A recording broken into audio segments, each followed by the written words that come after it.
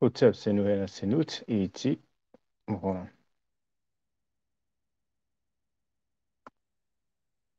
Hotep Senuhena Senut iti ren ishakan dugukemet. I hope you're doing well. We have another free talking question and answer session. I've left the calling link in the chat, but I'm going to post it again just in case.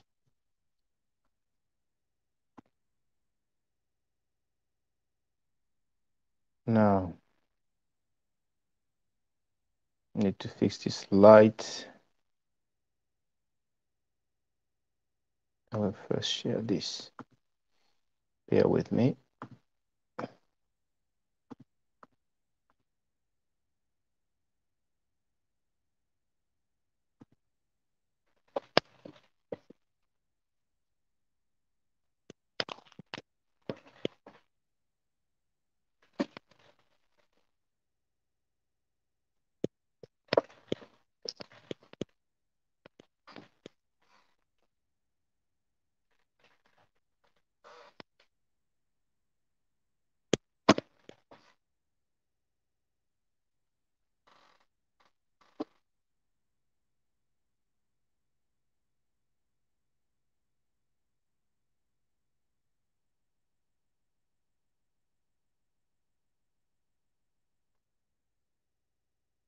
Okay, that's better.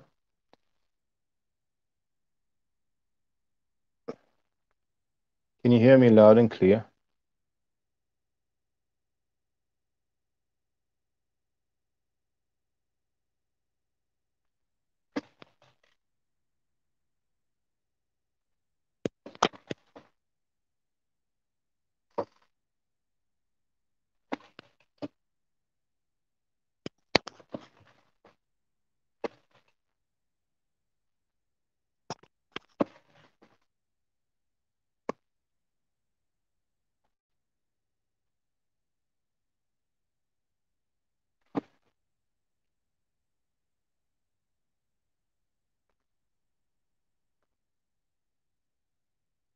Oh, Anuket World Traveler, thank you.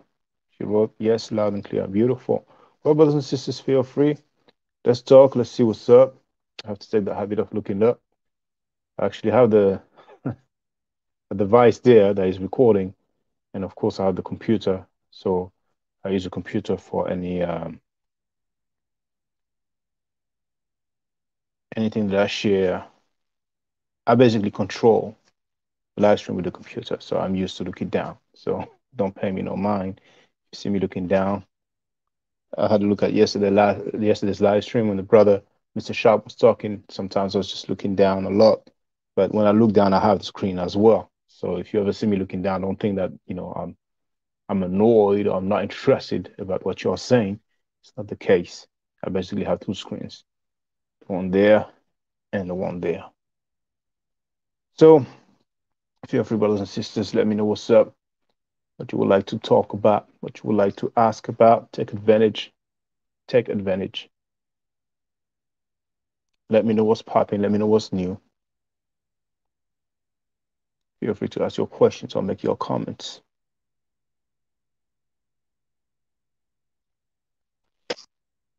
A lot of times, I have some ideas, and I feel like uh, making a video to address some topic.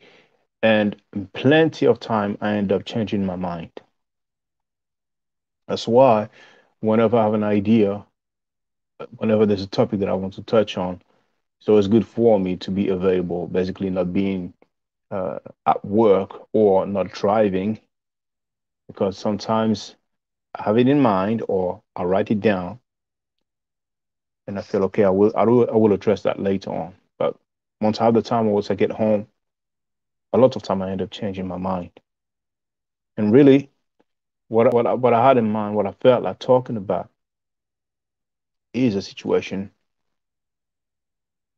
regarding the Abrahamic believers and also some non-Abrahamic believers who have this habit of talking down on Kemet.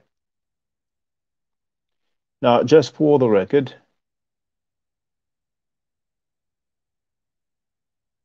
there is uh, someone called Rabon who said that Kemet was dead. So I called him out. And when I say call him out, I'm not 100% sure what the connotation may be, but it might have a negative connotation. But I'm sure that in my video, I made it clear that it was no beef that I wanted to talk. So yesterday, or the day before yesterday, he actually wrote a message to say that he just got wind of my video and he basically said that he didn't want to uh, have a discussion about it. So that's his right, that's his choice. It is what it is. So he ended up his message with peace. So I wrote peace, and it is what it is. But then again, it's a shame when people make some statement and they cannot really expand on it or elaborate on it. It's very easy to say Kemet is dead because there are some people who practice the culture. There are some people who follow the culture. But it is what it is. It is what it is. I've said it before, but Abrahamic believers have a common interest in vilifying Kemet.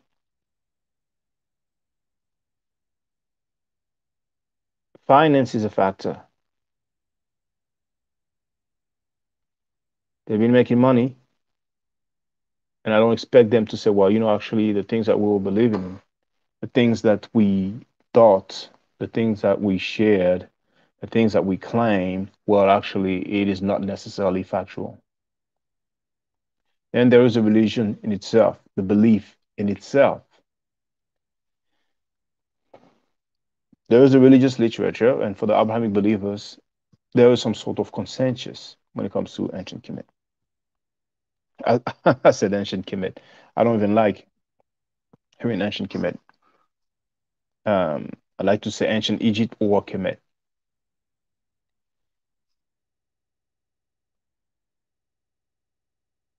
If some people receive some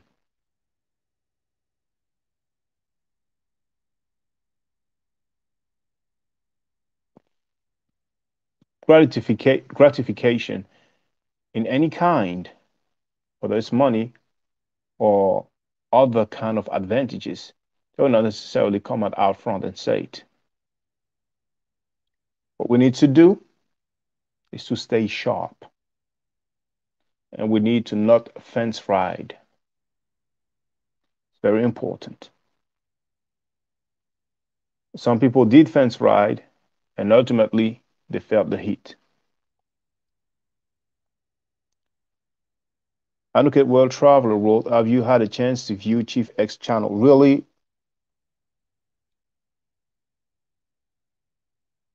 I don't check out his channel. And sometimes I might look at someone's channel whenever he makes some statement that catches my attention. And I look at the videos and I look at the titles, and most of the time that's just enough for me. Sometimes, out of curiosity, I look at the video and I scroll through the video really. I really look at the video. I scroll through the video, listen for to a few seconds, and then go up a bit later on and listen to a few seconds. Particularly with people who make some consistent statement that just don't make sense at all. I mean, we all make mistakes. I made a mistake in my video Kemet in my art or uh, introduction to Kemet. I didn't mention Suten. The term really is Nesu. And Egyptologists back then thought it was Suten. They did not know about the honorific inversion or honorific transposition. So, you know how the saying goes nobody's perfect. See? So, it's not the only mistake I made in my life. Um, when someone makes a mistake, so when someone makes a mistake and it's not something he's not willingly lying, you know, it's not that bad. But some people are willingly giving out false information, knowing that it's false information, or they just make things up. But that individual, I mean, he he's been very uh, very reckless. So you know, I don't don't want to give him too much attention. Uh, you know, so. But hey, anybody's free to call in. So when I when I addressed him, I invited him. I contacted him. I never heard back from him. So man, He doesn't have to. It is what it is. And really, if someone doesn't like him, man, hey, it's cool. It's fine. It's fine. You know, you don't have to like it. You don't have to follow it. But to outright disrespect it, and I think that's uh, it's, it's a bit funny because he said some very disrespectful things about Kemet, but not other, about other Abrahamic belief system or even non-Abrahamic belief system. You know, there's other kind of Asian religions or Asiatic religion, uh, American spirituality or religion, and even European as well. But it's not going that hard saying anything that bad about those things. You have to wonder why. Now, Anuket wrote, he's another one who doesn't believe Kemet was black African. Well, believing is not knowing. But does he know? But does he know?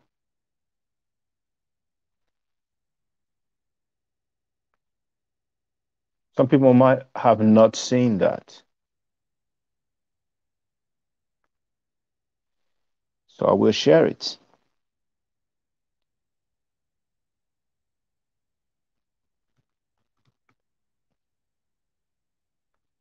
I'm going to show you one of the most famous king of Kemet.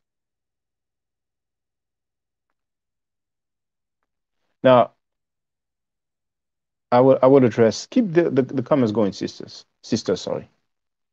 Um, I will show you one of the most famous ancient Egyptian king, ruler,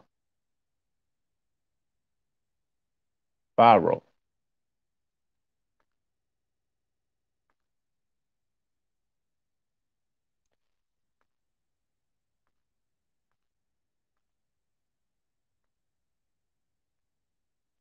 So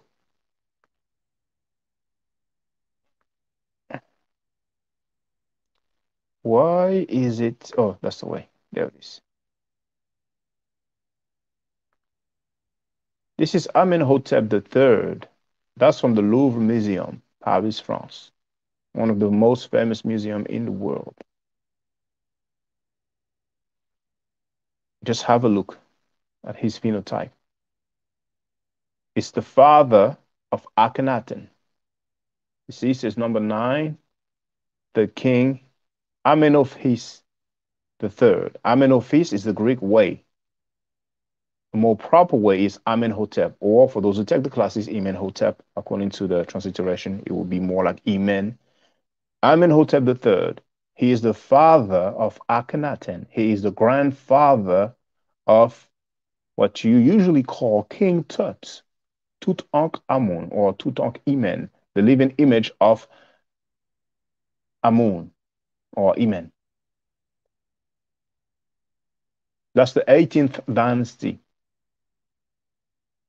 That was during one of during the period, one of the period that was the most prosperous for Kemet. And there are plenty of other depictions. See? Now there's something that I have started, but there's only so much I can do what will be, I'm looking for the,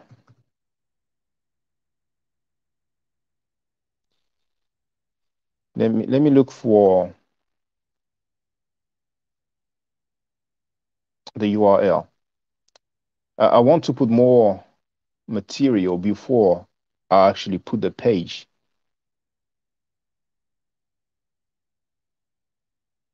Okay, it's okay, never mind. I, will leave it. I'll leave it for now. You know, I'll leave it for now. But there's a page I'm preparing, and I mentioned that where I want to show some depiction of uh, several people from um, from, Kemet. So I will continue. But we have plenty of depictions where we can clearly see that they were black African. No denying, no doubt whatsoever.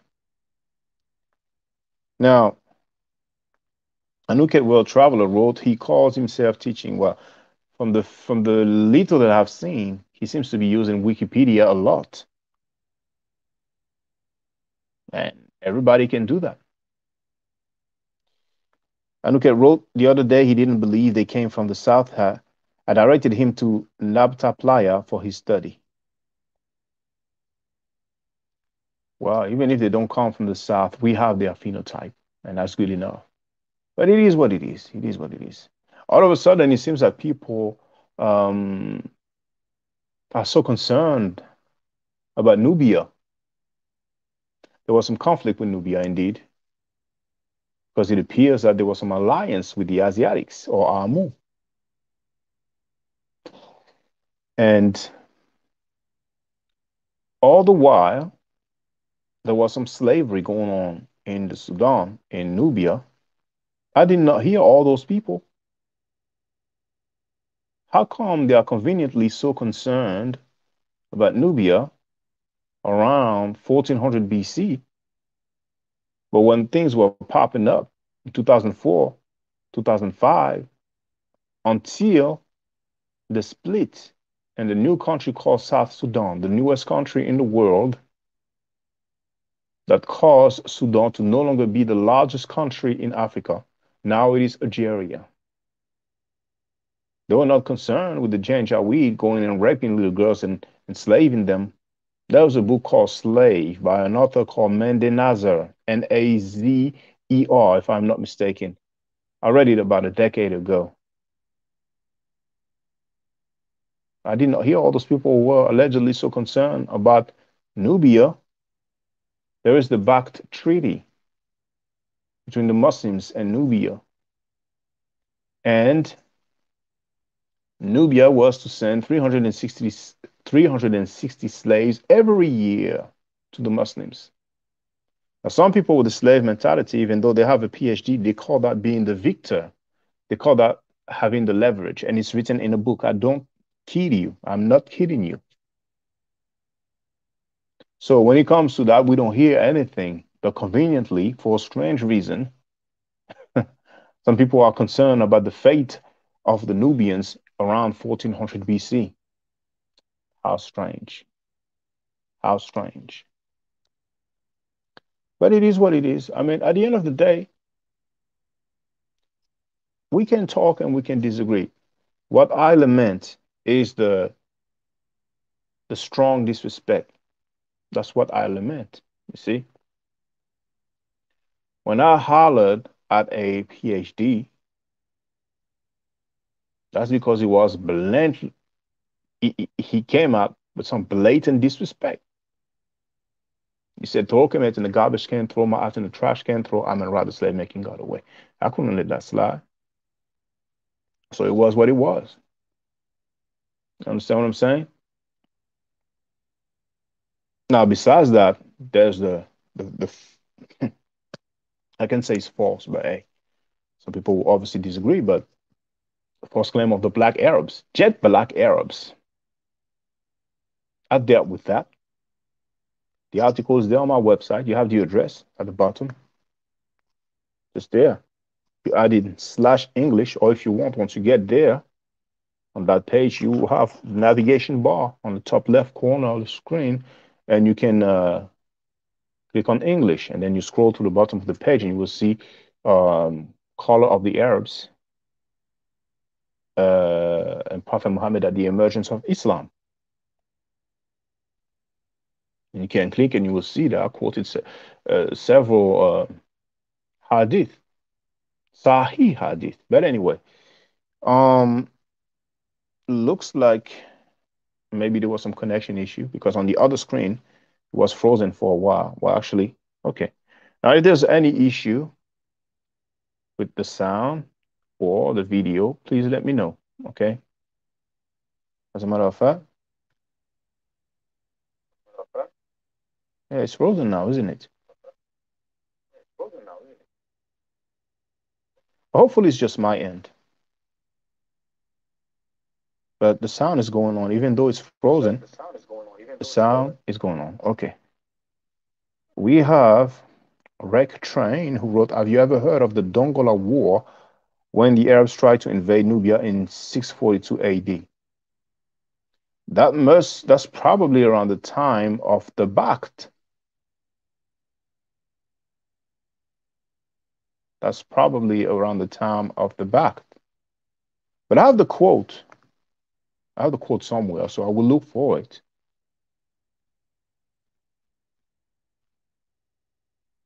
Okay, I, I, I think I know where I will find it. So,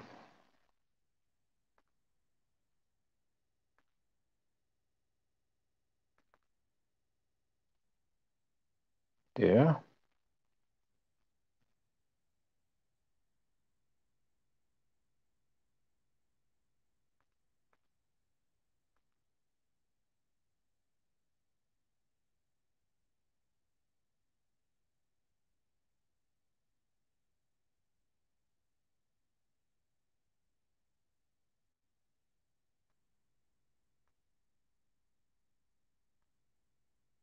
Oh,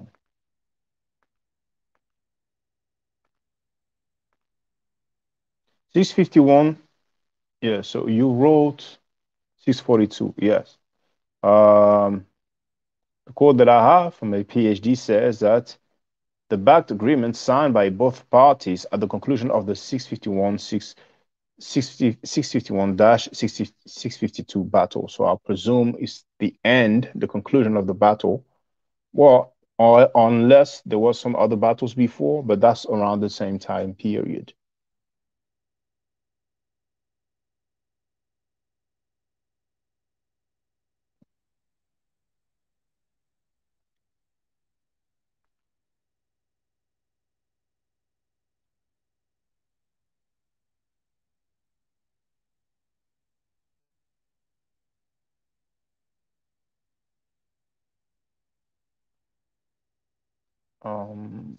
Red Train wrote Nubia won. They got bar, bar, bar arrows that made 255 Arab soldiers blind. Well, okay, I don't know about that specific. I'm not, I'm not familiar with that.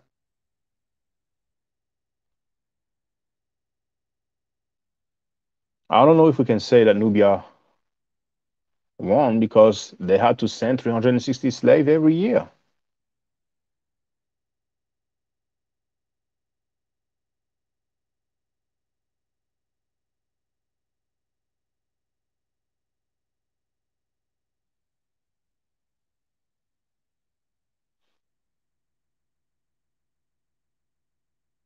Feel free, keep it coming. Keep it coming, brothers and sisters. Because you know how I get down when there's no participation.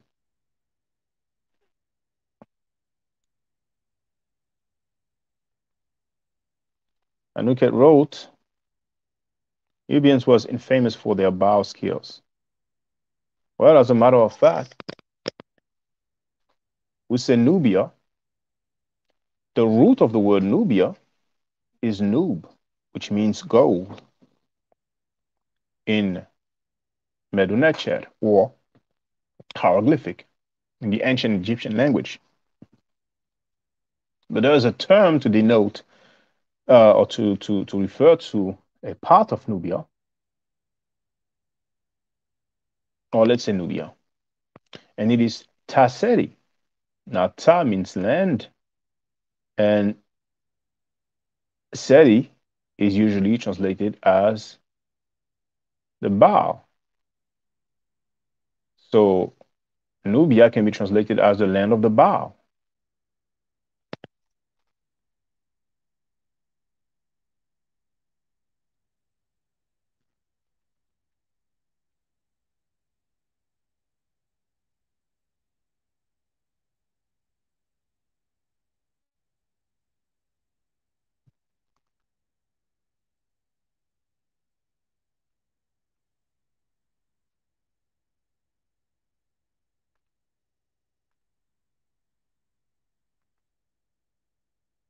And Anuket wrote, Yes, Ashwakwezi taught me that.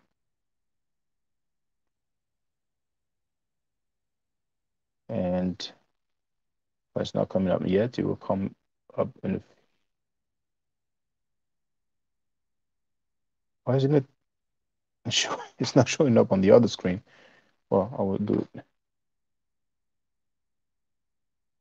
Oh, that's it. Takes a while. So right was true. This is what I've just quoted. And Anuket wrote, That is who I went to Kemet with to learn. All right. When did you go to Kemet, sister? I went in 2012.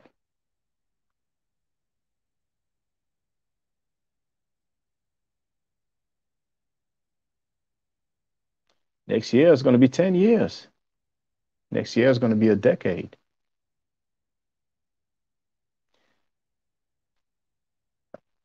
Okay. The sister went three years after me. Okay.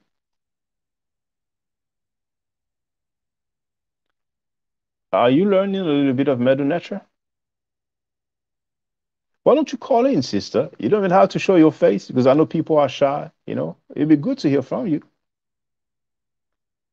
You know, I mean, you know, don't force yourself. You don't feel like it, but if you if you don't mind, then here's a calling link. You and any other any other person. Oh, um, Afro Asiatic has joined us. What's up, brother? Now, sister says, in the meantime, she says she wants to go again. I want to go again, actually. And I don't know about this summer, but lately, as everybody can see, there's been less attendance. So I don't want to say less interest. Now, however, it is true that when I go live, I just inform the people like five minutes, half an hour before. When in the past, I used to inform people hours before, or maybe even the day before, or a few days before. But hey, you know, so many things going on. So I'm going through I'm going through a lot of uh, learning, and I work full time, and I have family, two children. So there's only so much I can do, you know. And I don't mean to sound like uh, I'm bragging or acting like I have superpowers, but a lot of people who teach they don't work full time. Some of them don't work at all. I mean, besides besides what they do, when they teach, they do that for a living. It enables them to leave. But the sister Nuke that's called. Thank you very much. How are you doing, sister? I'm fine. How are you? Can you hear me? Loud and clear, sister. Very, very, very loud and clear. Very clearly. How are you? Hotep, Senet? Hotep. That's all I know. all right. Well, you know, well, there it is. I've said Senet. Senet means sister. Senet. Okay. Yes. And and if you want to say brother, you say sen. Sen. All yes. right.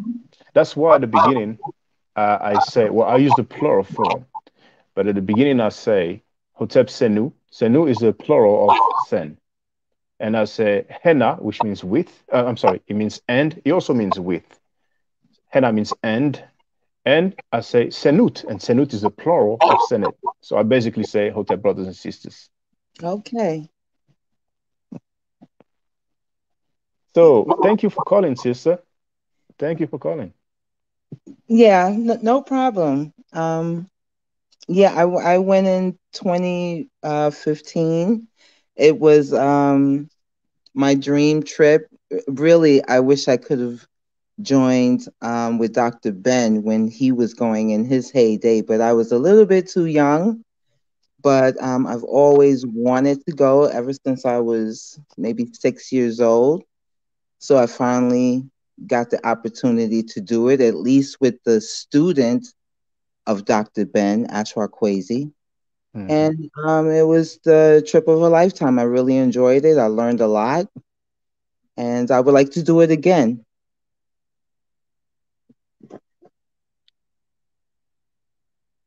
Okay. It, it did break up on my end. Oh, I think you were saying you would love to go again.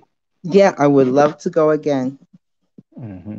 Yes, same with me. And you're probably aware that there's this uh, new museum that that will uh, open soon.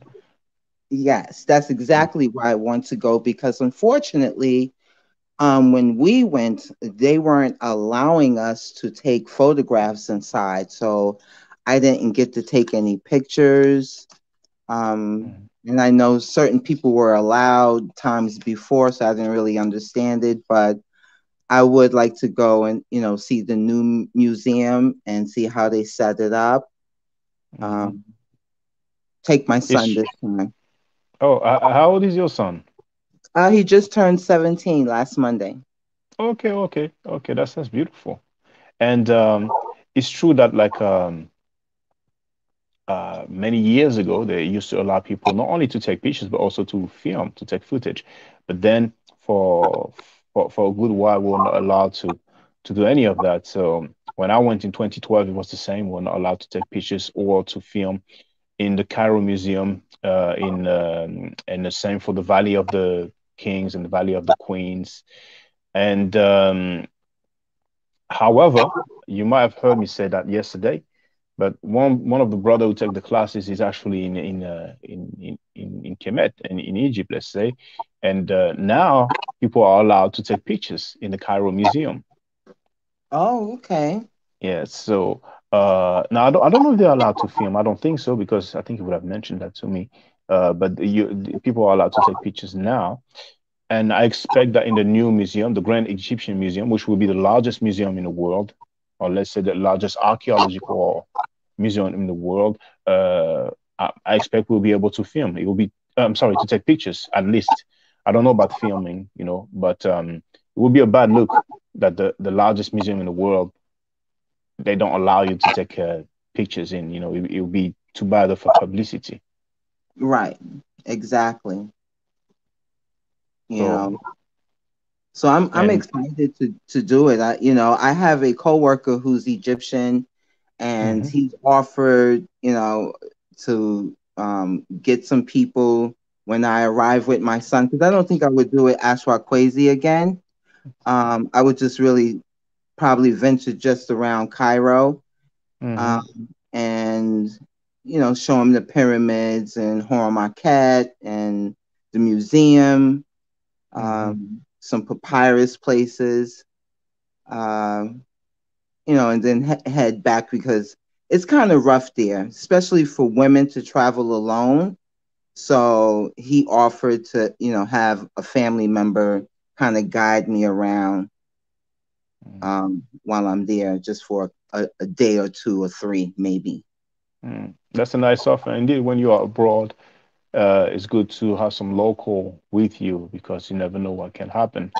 And yes. um, it's nice you mentioned that uh, papyrus place because I recall that we went in a shop where they used to sell um, different type of uh, art, and some of it was some painting on papyrus. So they actually, and you might have seen it as well. They showed us the process from getting the yeah. reed and then how it is cut and how it is. Uh, uh, I don't have the word right now, but they, they, it's like they press it down, you know, put the leaves. Oh, you you you can I'm see it now. okay. I'm trying to show you my crown jewel, but I have to turn the phone around. Hopefully, you can see it. Oh, all right. Tutankhamun. Yes. that was the reason you, why. You know what? Hold on, hold on. If if you don't mind, sister, leave the. Okay, yes, that's it. Uh, I wanted. I, I want to take the. I want to make a screen print because it looks nice. So just just leave it there. Okay. Can and, you see and, it really good? Uh, yes, just one moment. I'll, I'll, take a screen print. So that will be the caption for, hold on, uh, just like this. Oh, one second. One second. Yes. Thank you very much. Thank you very much. Okay. I, I would change. I, I would change the thumbnail of this video. yeah, crop it because it's a little crooked. so let me change it now. It's beautiful. That's my Did... crown jewel. I, you know, mm-hmm. I searched that that papyrus place, and I'm looking around and I'm picking all these different papyrus I want to buy, and I I just did a, a, a turnaround, and it was staring me in my face. And I said, everything that I wrote down, throw it away. I don't want it. This is what I wanted. I want it off the wall. I don't care how much it costs. uh, that's mine. so I got it. Yeah, and and I felt the same way when I saw an Ankh. It was a black, and um, I don't know if the material was. Um, I don't think it was ivory, but um, it, it was not like it, well, it was not plastic. It, it, it was some sort of uh, stone-like material, smooth, Uh, but unfortunately, my son or my nephew, one of them broke it, you know. But um, but I, I still got those those three pyramids there, and uh, they have different size. So I took three this way. It's like Oh, the, the one in the Giza Plateau. But whenever I move, I'll be able to have a nice setup. You know, I'll, I'll have, be able to have this this thing on the table, so it look nice. But that that, that black Ankh, you know, I, I loved it so much. Uh, I showed it in a few videos back then, but um, when I when I go back, I, I, I'll look for it, and I have a little scarab. But this one they gave it to me for free, you know, because they were happy of the purchases that I made. yeah. But uh, and and I was, and I took some stones from the ground. Me too. All right. Now this one has faded, but I did write in uh, in hieroglyphs. Well, this one still has it. I, I wrote Ipet-Sut, Iped suit in um, in hieroglyphs. So this was from the temple, and uh, I have uh, this one is fading away, but uh, I've I've put that hieroglyphic sign that stands for the H sound, and it's because it's from the temple of uh, eternity. That, Oh, that uh, Ramesses uh, temple, uh, Medi- Medi- Medinet Habu, that's how it's called today. And uh, this one is uh, has a suit but I, th- I think maybe maybe it was Karnak. I, I don't. I'm not really sure. But um, it's nice to have some memories like that, some physical memories. yes. Yes. Mhm. And um, did did you see this? I, I did not see the boat of Khufu. Did you see it? Yes, I did. Oh, you're lucky. You're lucky. Yes, I did. uh, what's what's going on now? What happened? Uh, do this. it's humongous. And and for this thing to be thousands of years old, um, they probably have done some work to it, you know, to keep it, you know, to restore it, but it, it is amazing. And they have it Uh, up in the air, ex- suspended in the air. yeah. I, I'm, I'm not, I don't know if they've done any uh, restoration work. Uh, I don't recall hearing that, but uh, who knows? But it, it looks. I only seen it in pictures and and and, and video, but it, it looks so nice, so nice. There was another boat that was found. I saw a documentary, and all the pieces were, you know, folded and stuff like that. But, you know, and and they they, they basically built it back up. And um, but when I go to the museums and I look at the furnitures, yeah, I look at the chairs, I look at the the, the, the boxes. I mean, a lot of time I highlight the fact that you could you you would think it was made like 10 years ago or 20 years ago, but you would never even imagine that this is thousands of years old. right. In the Louvre Museum, there's even a folding chair. Folding But chair. uh, yes, yes. But it's going to open again. It was closed because of the uh, COVID situation.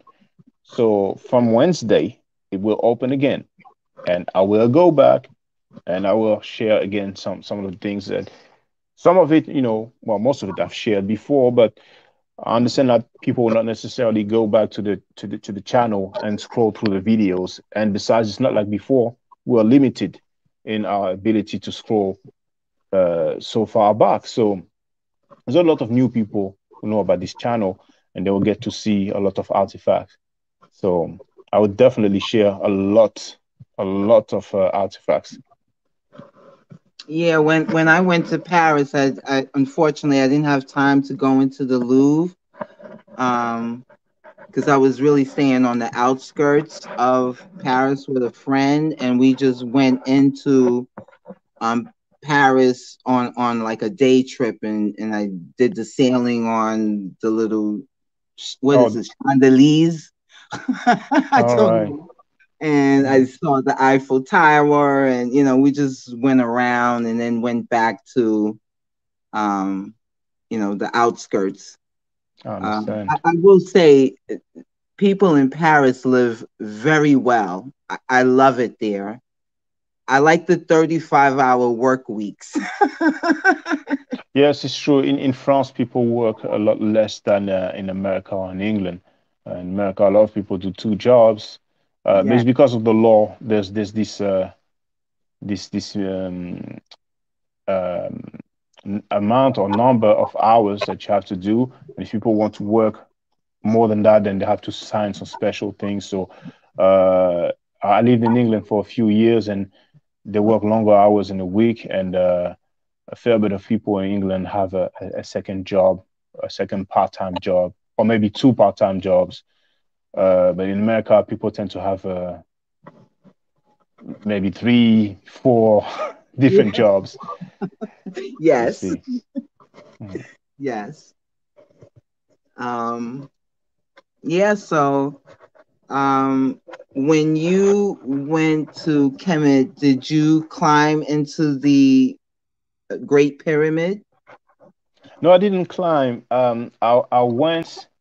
I initially wanted to go with some people who, some some some black people, some who um, has been dealing with Kemet, and uh, they they organized a tour, but the problem is that they did not have the set date, and I needed to know in order to be off work and tell them I want to be off work from that period, that period. So that was a shame. So I ended up, you know, taking a, a normal cruise, and we had that tour guide, uh, and and and I asked him, and he said no, it's it's not allowed, uh, because I know that some people used to to climb before. I've seen some footage, uh, but um, some people will still do it.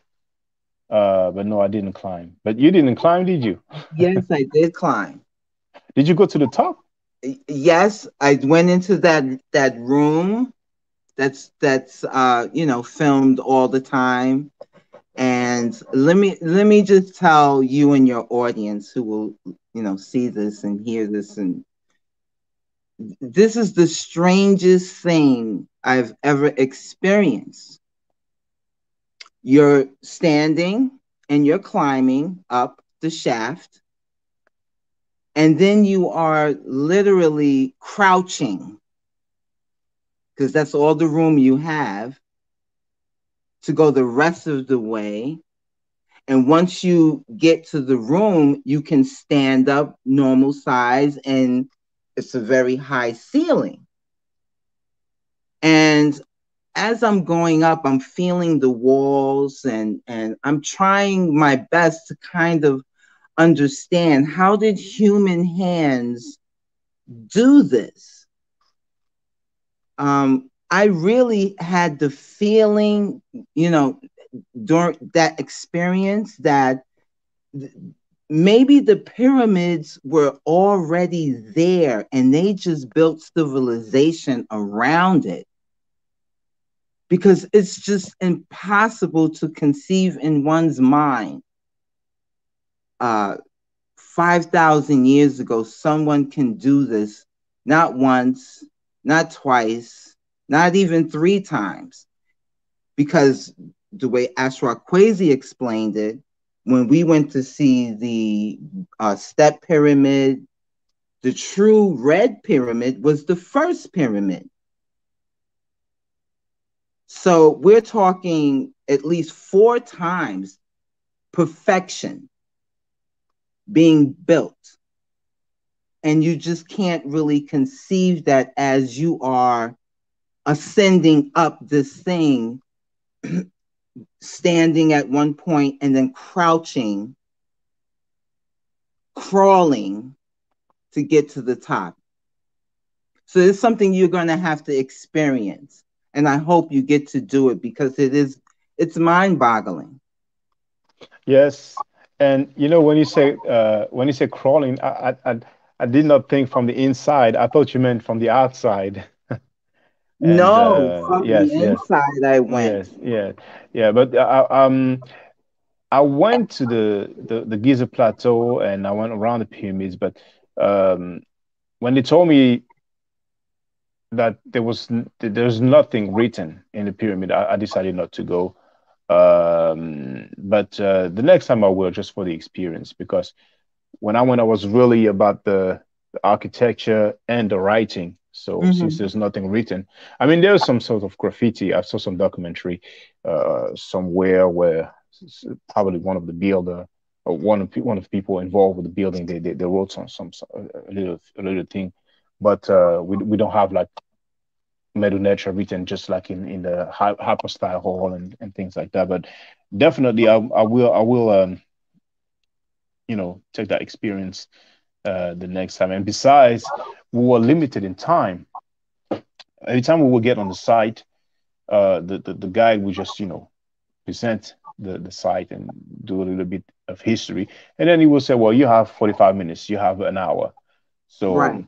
I was I was more focused about you know taking different shots different pictures and different videos of the pyramids and and uh, so I, that's the reason why I decided not to go inside. But definitely yes I, I would love to to to go to go inside.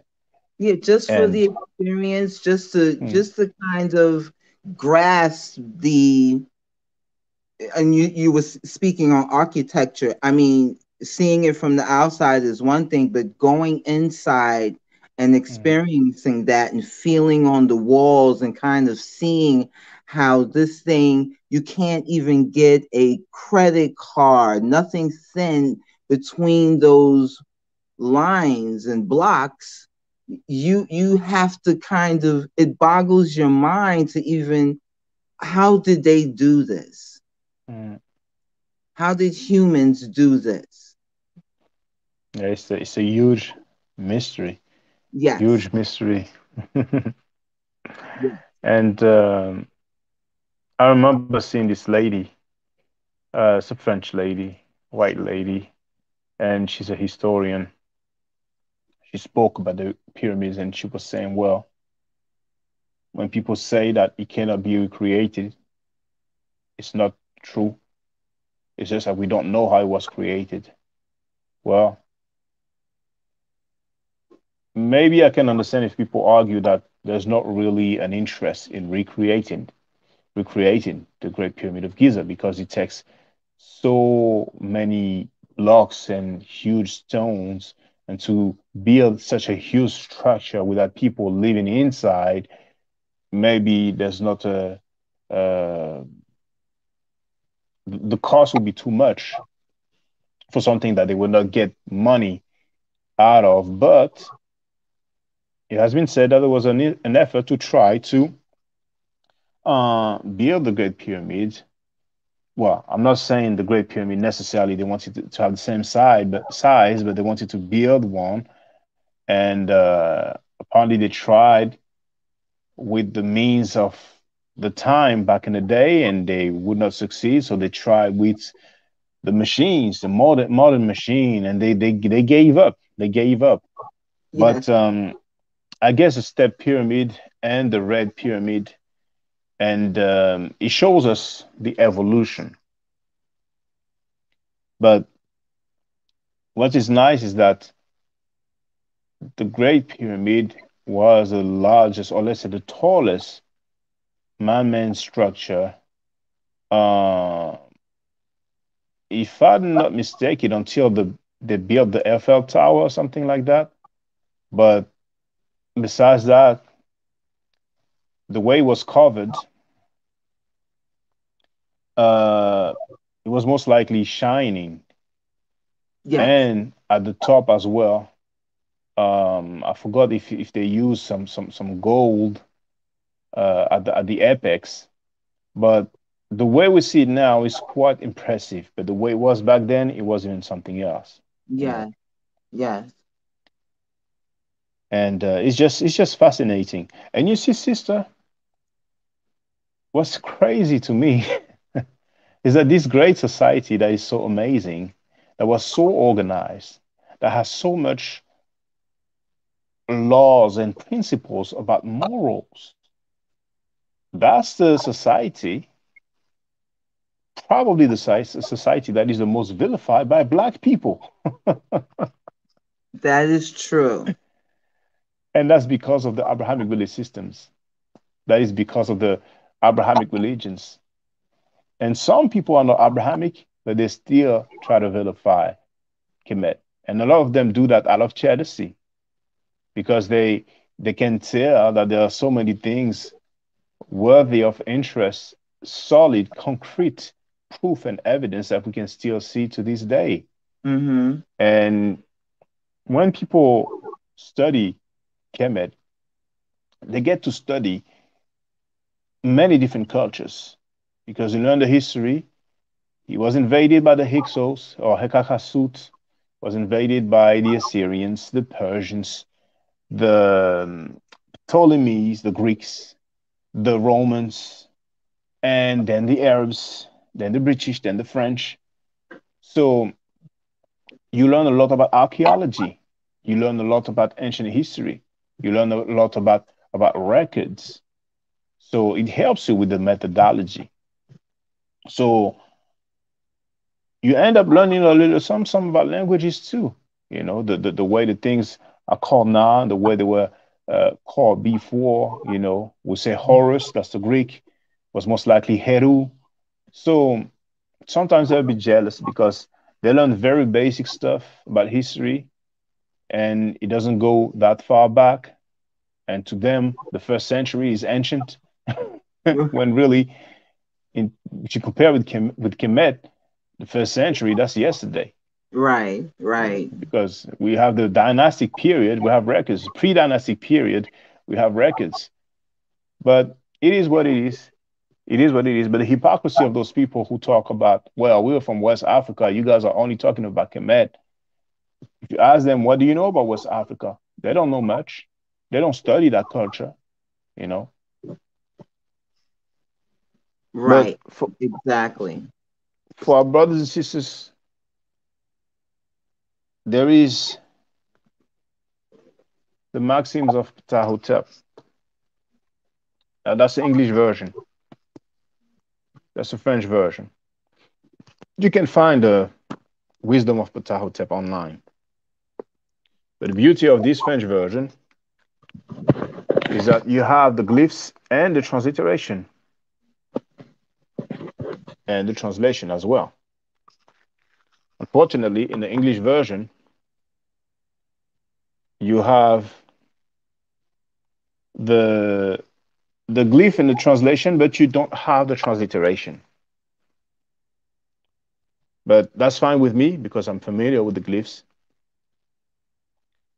But I encourage you, brothers and sisters, have a look at the wisdom of Ptahhotep and understand this is 2000 BC.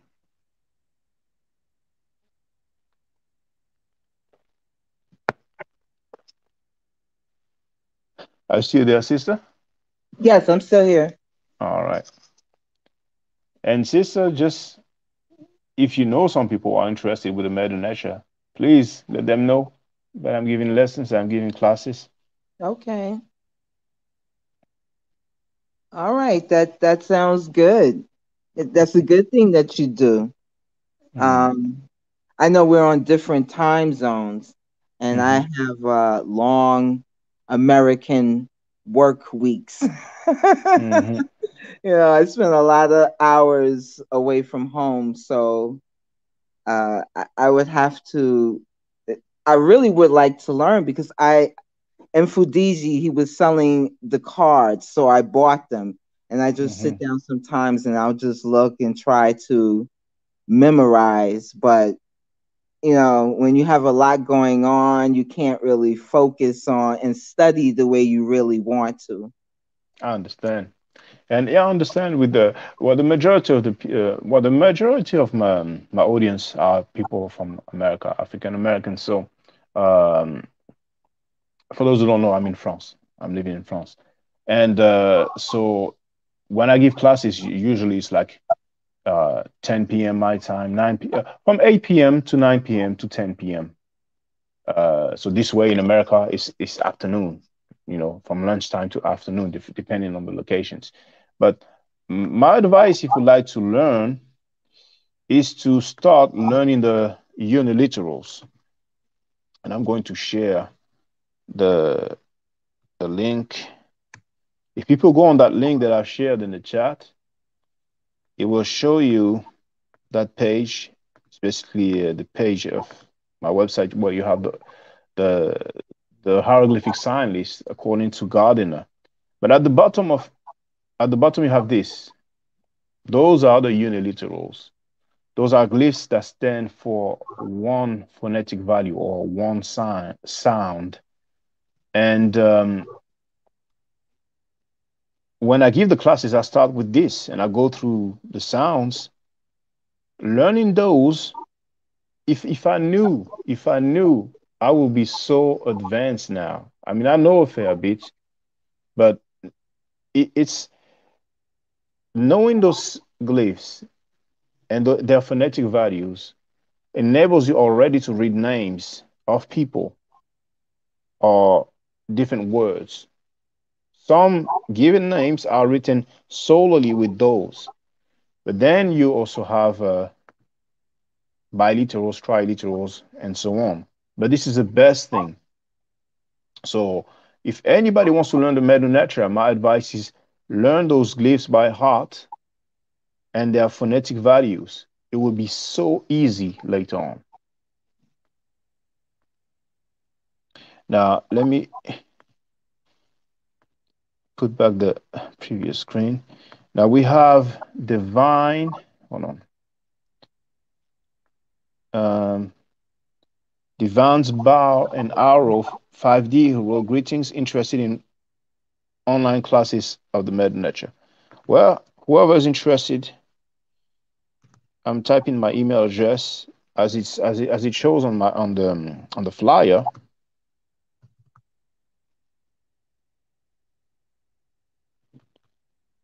I've shared it in the chat. It's B O S S S T Y L Y X at msn.com. That's B O triple S T Y L Y X at msn.com. Feel free to send an email to me and let me know your availabilities. And uh, it's only $10 an hour. Everybody can just go and have a look at the different people propose some Medu Neter classes, and you will realize that it's probably the most affordable prices out there. You're welcome, yeah, sister. Great. She will thank you. but um, I learning a different language, uh, different language, learning a foreign language can can be challenging. Uh, but um, I've I've I've I kind of studied a few languages, but um, the the grammar of the Medu Neter is just amazing. People don't have a clue how organized, how well organized that language is. It's just it's just amazing. It's just amazing. It's like they made it easy, and they made it easy. And um, I went through so many books from, from PhDs about the, the Neter, but the, the grammar is just very well put out. I mean, it's just it's just great. It's just great, you know. I mean, I, I could talk and, and use some terms, but it would be a bit confusing. But you you have the those who take the classes, they know we have the phonetic complements. Basically, we have glyphs that help us to to be sure of the, the meaning of a word because in in French, just like in English, we have homonyms. We have some words that sound the same, but they don't have the same meaning. Right. But with the the the, the Neter, we do have some homonyms as well. But the way it's written down is different. You see, so it avoids any confusion, and then th- this is really really helpful. Now we have someone from France it's called, uh, I don't know why on my end. Let me refresh it here.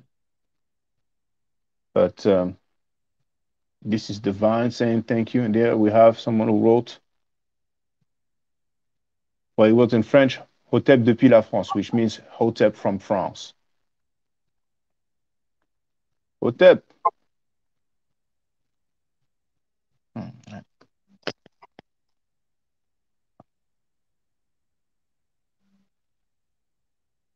But you know, are you still there, sister?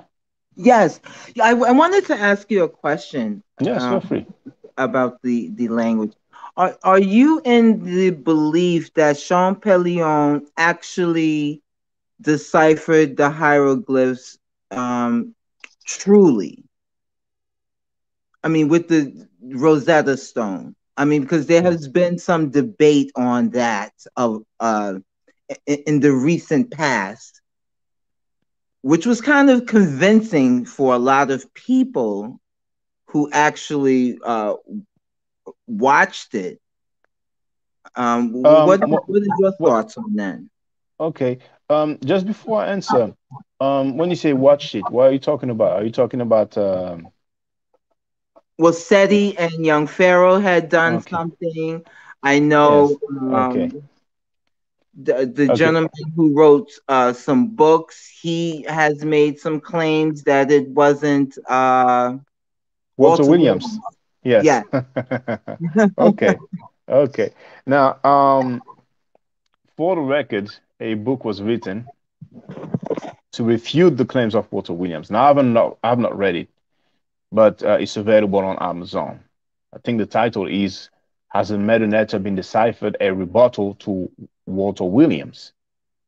Now, when it comes to Young Pharaoh and I've said it a few times before because those two brothers have uh, quite a large audience, and those two brothers have said that the Medu Neter has not been deciphered. And I disagree with that. I feel like he has been deciphered indeed. Not as if Champollion was such a genius that he came up with a way to crack the code, but it is because the Rosetta Stone, and I know I'm repeating myself for some, but others are, are not aware that the Rosetta Stone has the same text written in three different scripts mm-hmm. the Greek, the, the, the Demotic, if I'm not mistaken, because sometimes Demotic and Hieratic is kind of used interchangeably. Uh, but the Demotic and the, the Medu Neter, or the classical Medu Neter, as I like to say. Um, so the language is the same. When it's Demotic and uh, Medu Neter, it's the same language, but the script is different. Okay, just like you can write Arabic with the uh, Roman script or with the Arabic script. And um, Champollion had studied the Coptic language, which is the latest phase or the latest stage of the Medu Neter. Once he had his hands on the Rosetta Stone, he could see the Chenu or the cartouche. And most people know already that inside of a cartouche you have the name of a king. Right. That's what enables him to make a correspondence between the letters inside of the Chenu on the Greek part of the Rosetta Stone or the Greek text of the Rosetta Stone. Greek is a language that was known. And he could work out what the glyphs actually, uh, what was the phonetic values for the glyphs for the glyphs written in the hieroglyphic part. You see, for a long time, people did not really think that the glyphs had a phonetic value. They thought that it just meant something. So he guessed correctly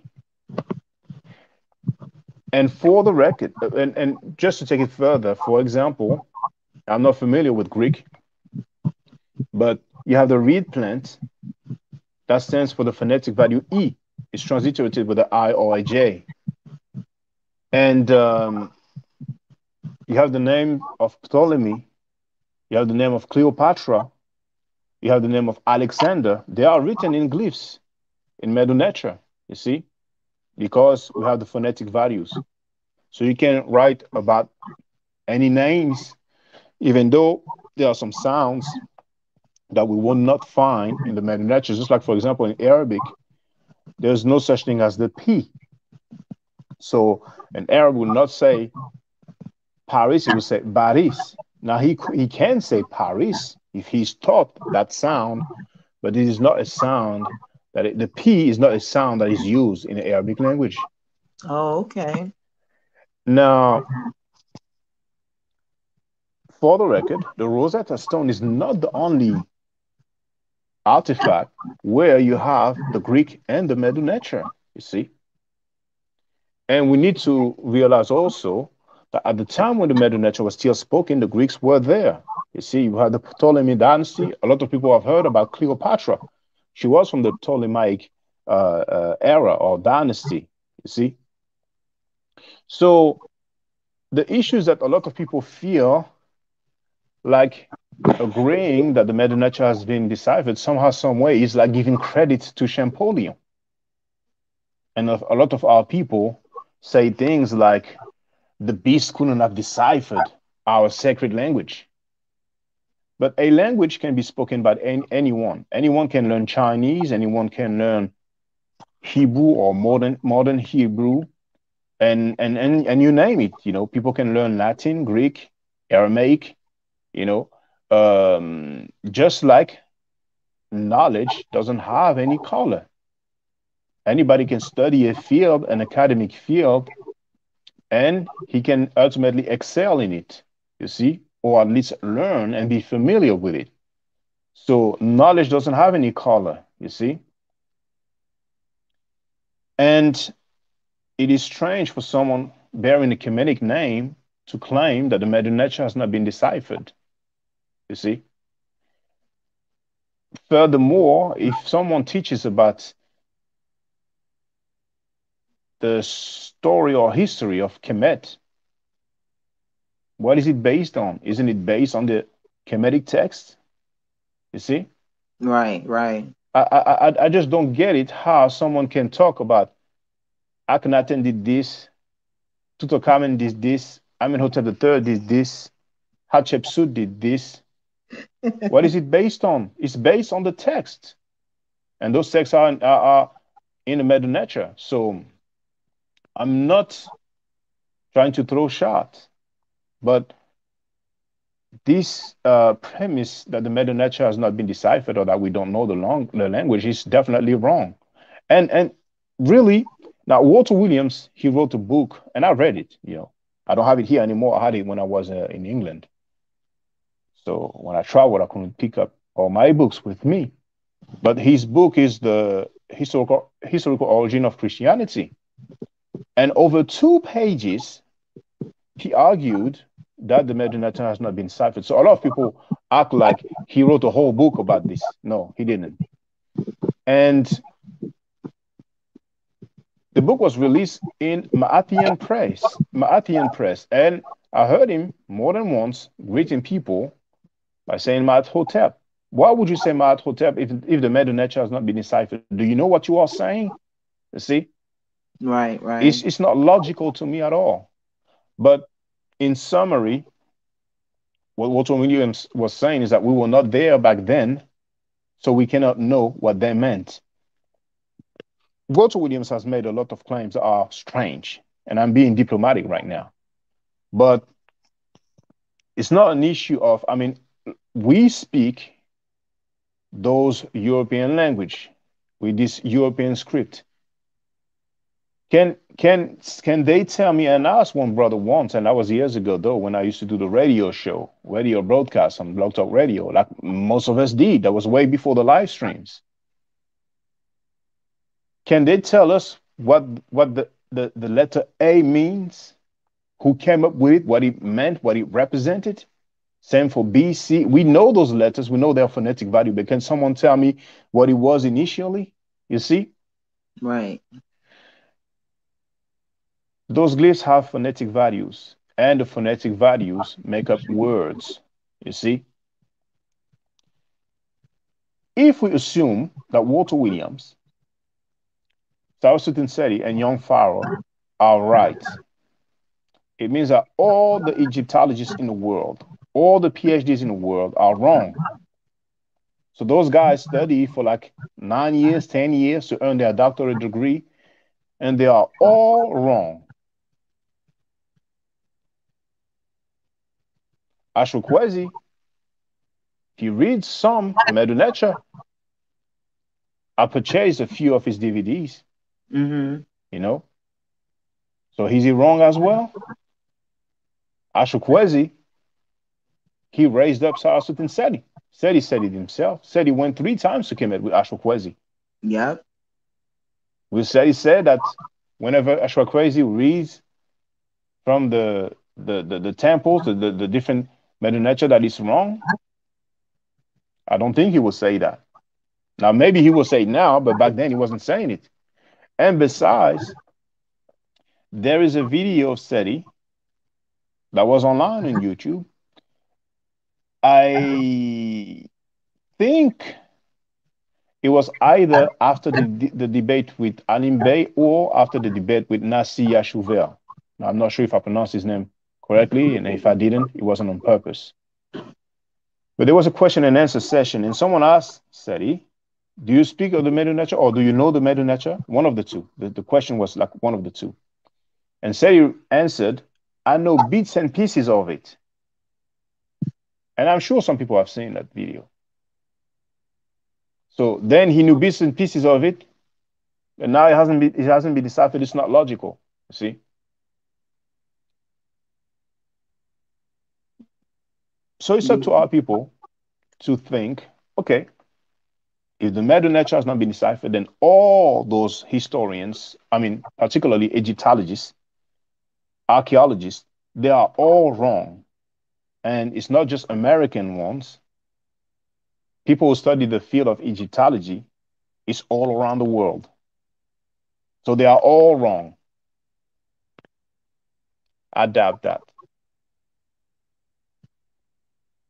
Cheikh Diop, many people love to talk about him and give him his due credit. He dealt with the Medu Neter. And Théophile Obenga, who accompanied Diop in the 1974 uh, UNESCO symposium, he deals with the Medu Neter. He's a linguist. Right. He even wrote a book to show the relationship between the Medu Neter and the and different African languages. You see? So if they want to say that Théophile Obenga, who is a giant when it comes to history and linguistics, they want to say that he is wrong, they can be my guest. You see?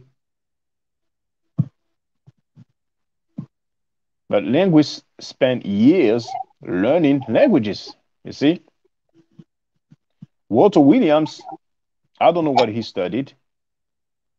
Now, I don't have any degree. I'm not a PhD. But if some people want to challenge me about the things that I say, they are free to do so anytime.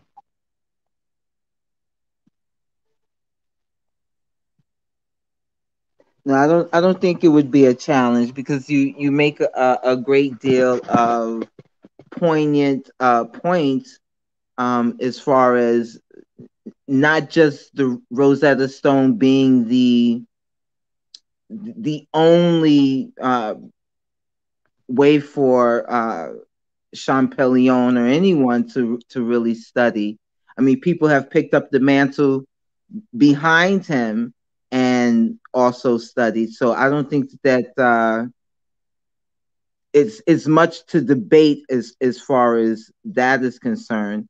Um, do you think that I mean, because we're talking about a history that's five thousand years in the making, do you believe that the early writings are maybe a little different than the later writings, let's say in the 18th dynasty, um, compared to the earlier dynasties? Do you think that it changed much, or do they know really um, if the, the the things that they say these these words are actually are from the earlier period?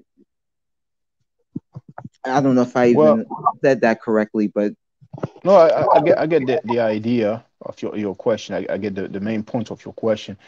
Um, when people, well, most of the time when we learn the Medu Neter, we learn the what is called the Middle Egyptian.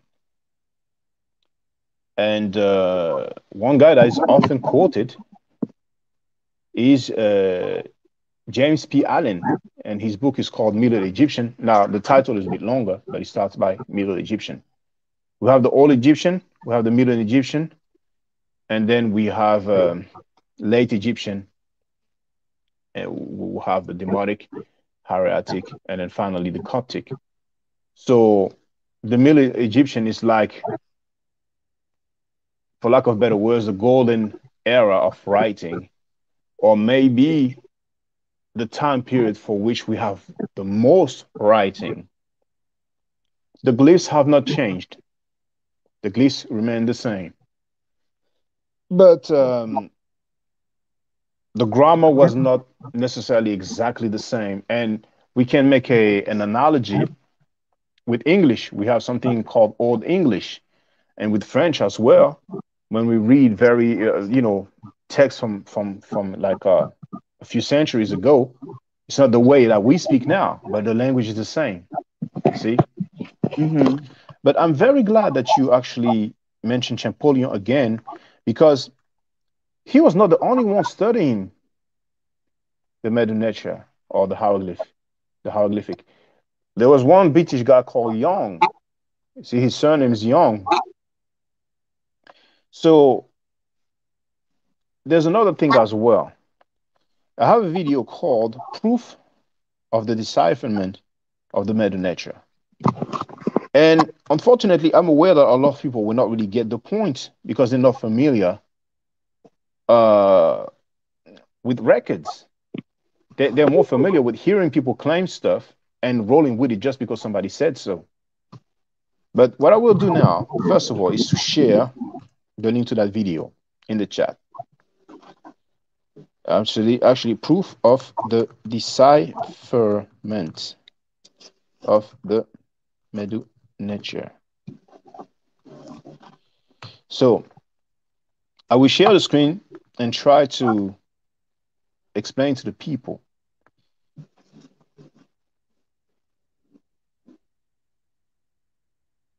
Okay, so let me do this. Okay, so what's going on here? Okay, I will I will have to uh, let this advert go. Okay. So what's going on here? This is the Louvre Museum, Paris, France. Okay. And this is a, an artifact where we have the name of the King Alexander written in hieroglyphs. See, obviously that's French, so I'm, I'm translating for the people. And if people think that I'm making things up or I'm not translating correctly, then feel free to show them this video if you know some French speakers and ask them if what I'm saying is the real deal or not. I'm very confident. Uh, French is my mother tongue. So when we when it says King Alexander, this is Alexander the Great, all right? And here it says vers 330 avant Jésus-Christ, which means around or circa 300, 330 before Jesus Christ or BC. AV dot, that's like BC, okay? It's a short for avant, which means before. JC, of course, Jesus Christ. Basalt, that's the material, the, the actual ma ma material itself. Now, when it comes to the Rosetta Stone, I'm going to type to give you the, the actual date, but I think it's 1799 that is, it was found. So Yes, 1799. It was discovered by a French name, a French man named Bouchard or Boussard in August 1799. And people can go on any search engine and type in Rosetta Stone, and you will see that it was discovered more or less in the 1800. All right. So that being said, we have this artifact there dated 330 BC. So that's more than 1,000 years before the Rosetta Stone was found. All right. Now, actually, if we make the calculation, how long is it before the Rosetta Stone was found? 2,000 years, right? Do you agree? Yeah, I agree. All right. So 2,000 years before the Rosetta Stone was found, we have this artifact. Now, I will show you the artifact itself. There it is. I will go back to this. This is the breakdown of the symbols that we see. That's the artifact right there. 2,000 years before the Rosetta Stone. Now, this is the virtue that stands for the sound A. I'm sorry, for the sound A, the phonetic value A. That's the lion. The phonetic value is really R initially. This is Ru. The phonetic value is R, but later on, it kind of was used for the sound L. This is the basket with the handle. That's the sound K, like a K transitive with the K. This is a door bolt. This is the sound S. This is the reed plant, the reed leaf. That's the phonetic value E. This is the ripple of water or water wave. That's the phonetic value N. This is the hand. It's the phonetic value D, D. This is the mouth, phonetic value R. And once again, the door bolt, the same as here, the phonetic value S. So if we read all of this, now it's written from right to left, okay? It can be the Medu Neter can be re read and written from left to right and right to left, but most of the time it was from right to left. That's A L K S E N D R S. Alexander S. Okay? Now, this is what I said. Okay? And and also another thing another thing. The reference that I've read, the the, the art, uh, this is the reference. Okay, this is from the Louvre Museum. Anybody can go to the museum. It's it's um when you get to the section about ancient Egypt, you have first a sphinx. You have a bit of stairs. Then you go left. Once you go left, you will see a statue of someone kneeling down and then the next room you go to, you cannot go to any other rooms. That's the direction of the visit of that section, that department of ancient Egypt. That's where you will see this. But for the record, here you have the artifact. Now, because of the the website, we cannot see the first letter. Um, maybe it was E, but this is the reference of the artifact. There's just one letter before. So you've heard what I said. Maybe I'm wrong. Maybe I made a mistake. Maybe I'm making it up. Now let's see what the museum, the Louvre Museum says. You see here the vulture, and you see the letter they've put A. A. You see, so phonetic value A, but the, the, the letter is A.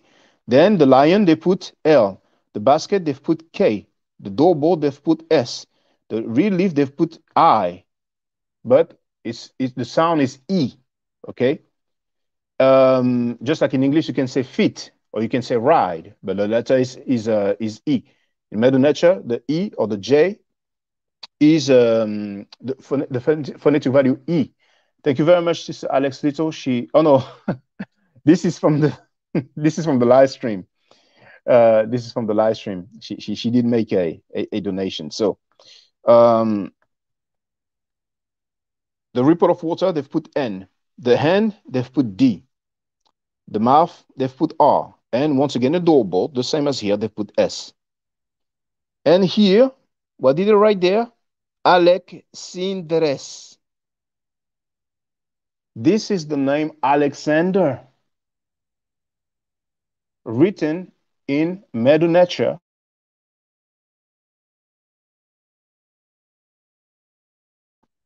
Okay. Alexander in Greek was most likely something like Alexandros or Alexandros. Now, I was a bit long winded, and I'm sorry about this. But the main point is how come 2,000 years before the Rosetta Stone was found, we have some glyphs that spell the name of Alexander, and it actually matches with the phonetic values of the glyphs that we know after it was worked out thanks to the Rosetta Stone. Could this be a coincidence let's presume the let's presume that the Greeks did not know the Medu Neter, they did not understand it. And they were just trying to copy and act like they knew the language, you know? Like let's say someone writes some letters that look like Arabic letters, or let's say he goes to the alphabet, for lack of a better word, of Arabic or the Arabic uh, letters. He knows how to write them and he just writes some things and he just claims, This is what I wrote. And whoever doesn't know Arabic will have no choice but to give him the benefit of the doubt. Right. The people who know Arabic, they'll say, Oh, that's not a word. When I went to Kemet, what was amusing to me is that a lot of shops they have glyphs as decoration. Those glyphs don't spell any word. It's just there for decoration. You see, they did not even make the effort of writing a few names or a few oh. words. They oh, just boy. wrote a set of glyphs, and it and it doesn't mean anything. You see. But that being said, let's presume the Greek. Let's presume, sorry, that the Greeks didn't know and they wanted to show off and say, okay, let, us just write some things. We make some cartouche and write some things and we act like, you know, we know what's up. Well, today, people will be able to say, oh, they just wrote gibberish. They just wrote glyphs like that to make a decoration. But it turns out that they actually definitely spelled out the name Alexander. So can we can we even imagine, can we even presume that this was just a coincidence that this scribe who carved that small artifact that I showed you, he happened to wrote some glyphs and oh, he was so lucky that he actually happened to spell out the name Alexander. Can we even imagine that this possible? Okay, yeah. You see, mm-hmm. 2,000 years before the Rosetta Stone was even found, people didn't even know about the Rosetta Stone. And this, this alone is an indication, or as I say, a proof that the Medu Neter was, and the issue is the term deciphered. That's the issue that a lot of people have a problem with because a lot of our people don't want to give credit to Caucasians for anything.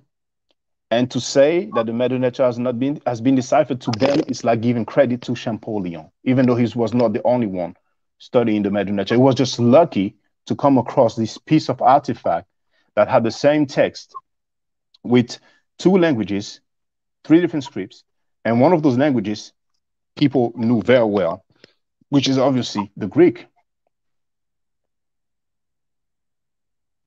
Okay. So I'm aware that what I've just explained can be a bit technical. I've been dealing with this for years. So for me, it's logical. And when you deal with something for a long time, it's like second nature. It's logical. But for our people who never took the time to to to, to study anything about the decipherment or the actual text, the hieroglyph, the Medu Neter, it can go over their head. I understand that, brothers and sisters. But once again, people can presume that I don't know what I'm talking about. And that's why many times I say, just look up any university and whatever field you are wondering about, and in this case, we're talking about Egyptology, then look for Egyptologists and they have an email address. You have some contact details for the professors. Even if you don't have an email address, you will most likely have a contact form. Just contact them and ask them about the decipherment. You know, ask them. Some people say that the Medu Neter has not been deciphered. What is your take on this? You see? And you can also ask linguists as well. But I digress. I was a bit long winded. I'm sorry. I see you have a, an, a guest with you. Yes, Radio One, Hotep Sen. Well, he, he's around because he he's probably doing something right now, but he, he'll be he'll be coming back. He'll be coming back. He's a regular. Here's a regular caller. Sister, how did you find my channel? Um, you know, I'm I'm a YouTuber. I, I look at a lot of different channels, and it just popped up, you know, like a recommendation. So I've been checking you out, you know, for a couple of weeks now. You, you've seen me in your chat, uh, you know, a couple of times. So, um, and I enjoy it. I enjoy your teaching, Um, it's official, you know, because I've been around this like my whole life. Like I said, from six years old, I practically um, just just fell in love with with Kemet. I always wanted to go. So um, anything related to it, I'm I'm listening, just absorbing information. So um, it was just a recommendation. That's how I found you. All right. And just before um, I let our brother Radio One speak, sister, have you had a chance to see the video called Kemet Ma'at? I'm, I'm okay. getting a call. I don't know if you can hear me. I'm gonna have yeah, I can, I can hear the, the, the call. Okay. All right. Well, All right. feel free to. Yes. Okay. Um. Well, brother Radio One, welcome. How you doing? Oh yes, yes, brother. Can you hear me? Loud and clear, brother. Oh yes, I'm good. I'm good. Hotep, Hotep. Hotep, sen. Yeah, uh, I was uh wanna I was listening in and uh just wanted to touch on a fact um tell the sister that you know these guys such as Sarah Seti, Young Pharaoh, you know, all these guys on YouTube, you know, they're they're nobody special. Okay, because they, I mean, be, be, be diplomatic. I mean, you know, you starting. You know, yeah, but I'm, I'm, I'm, being, I'm being, I'm being, I'm being truthful though. I'm being truthful. Okay, because you, you know the, the the thing. You know, just just, just before you, you continue, I will, of course, I will let you speak and and and share whatever, however you, whatever you feel like saying, however you feel like saying it. But brother Southwood said he's been representing. I mean, he goes a, a little while back in 2008. You know, he was really representing and under attack by many other people, many, many different people. And um, the main disagreement that I have with him is the claim that the Medu Neter has not been deciphered, but he's been representing for Kemet in Africa. Uh, but but go ahead, brother. Go ahead. Yes, what I'm saying is, you know, they they don't have that that that merit of being in the field, you know, for uh, uh studying the Neter and uh studying archaeological artifacts, you know, and they, you know, and they pretty much you know, they they're really no different from the people that that listen to them, you know, because they, I mean, a lot of them, they do nothing more but just you know sit in their live. I mean, sit in their bedroom, you know, read books and do and, and read on other people's work. Okay, but you know, but you rarely see them out there doing doing their own work. So I'm saying, like, you know, if if somebody's going to refute the Medu Neter, you know, at least listen to someone who's out there doing the field work, you know, and producing their own work. But as far as I'm concerned, you know, there there there's no disagreement.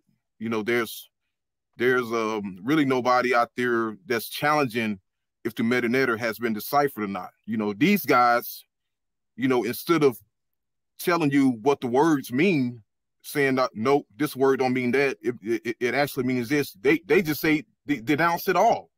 You know, they they just say that it's not true. You know, and because of their own lack of study and lack of research, their only conclusion is, oh, it's not true. You know, but but they can't give you anything else. You know, so and I, I will tell the sister, you know, um, do your own research, you know, because listen to these guys, you know, you you'll lose some brain cells you know, and you'll come to find out that you know more than them. I mean, just just just just being honest, you know. And I was uh, debating uh, uh, someone from the, you know, from the Mossi warrior clan, and um, I had a discussion with him about the the the ancient records of Egypt written by James Henry Breasted, and he was telling me like, you know, what are you reading from James Henry Breasted for? And uh, and he was like, you should be checking on my books. I was like, well, who are you? You know, where you know where where is your work? Where is your proof that you've been to Egypt and you've been studying hieroglyphics? You know, uh, in your in your work. And I checked out his work, and it and it's just um a bunch of little cheap books. You know, that's that's a, a bunch of non-official stuff.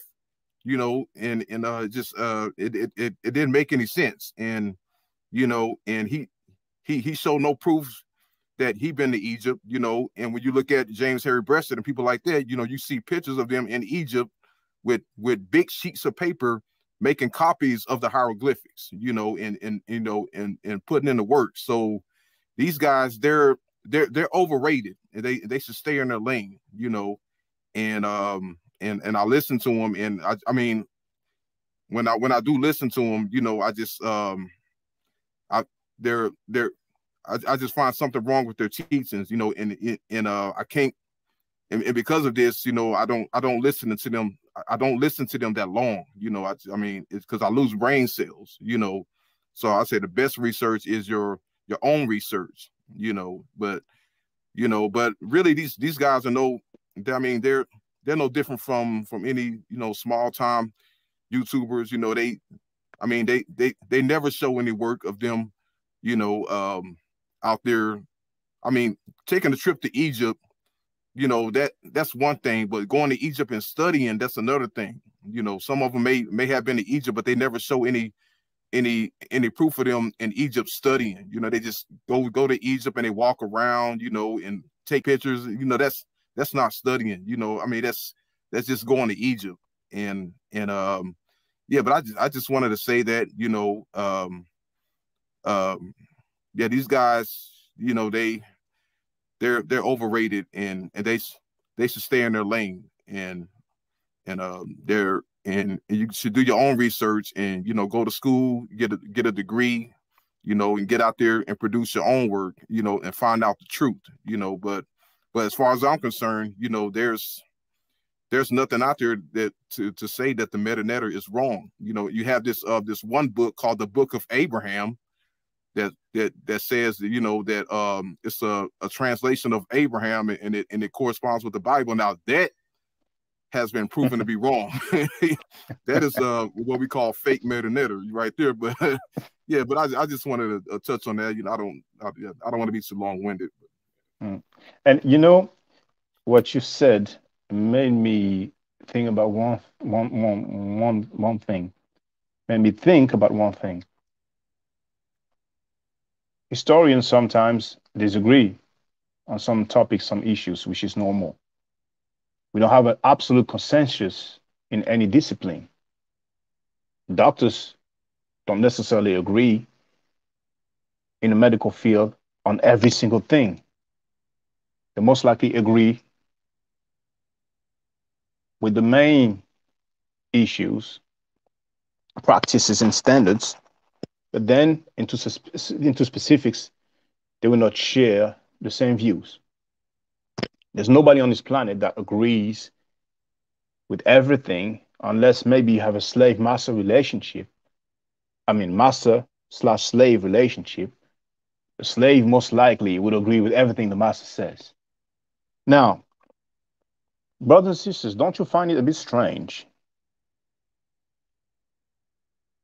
that we don't have, well, not to my knowledge, and if it's the case, please enlighten me. We don't have any linguists, or let's say we don't have any PhD. And when I say PhD, that's because it's the highest academic uh, level that one can reach. How come we don't have any PhD that claims or that argues that the Medu Neter has not been deciphered? a PhD is a specialist, you see. Now, some people think that Walter Williams is a PhD because he's called Dr. Walter Williams. I'm not aware of him earning any PhD. And if he hasn't, please let me know. See, I'm not aware of it. See, if somebody can tell me, and please do so. But don't you find it strange, brothers and sisters, that there's no PhD that says or that argues that the Medu Neter has not been deciphered. Isn't it, isn't it a bit strange? I mean, we probably have hundreds of PhDs. I don't want to say thousands, but we probably have about a hundred PhDs who have specialized in Egyptology and we have, let's say, three people with some influence that claims that the Medu Neter has not been deciphered. How come we don't have even one specialist, one doctor, someone who holds a doctorate degree that argues or says or claims that the Medu Neter has not been deciphered.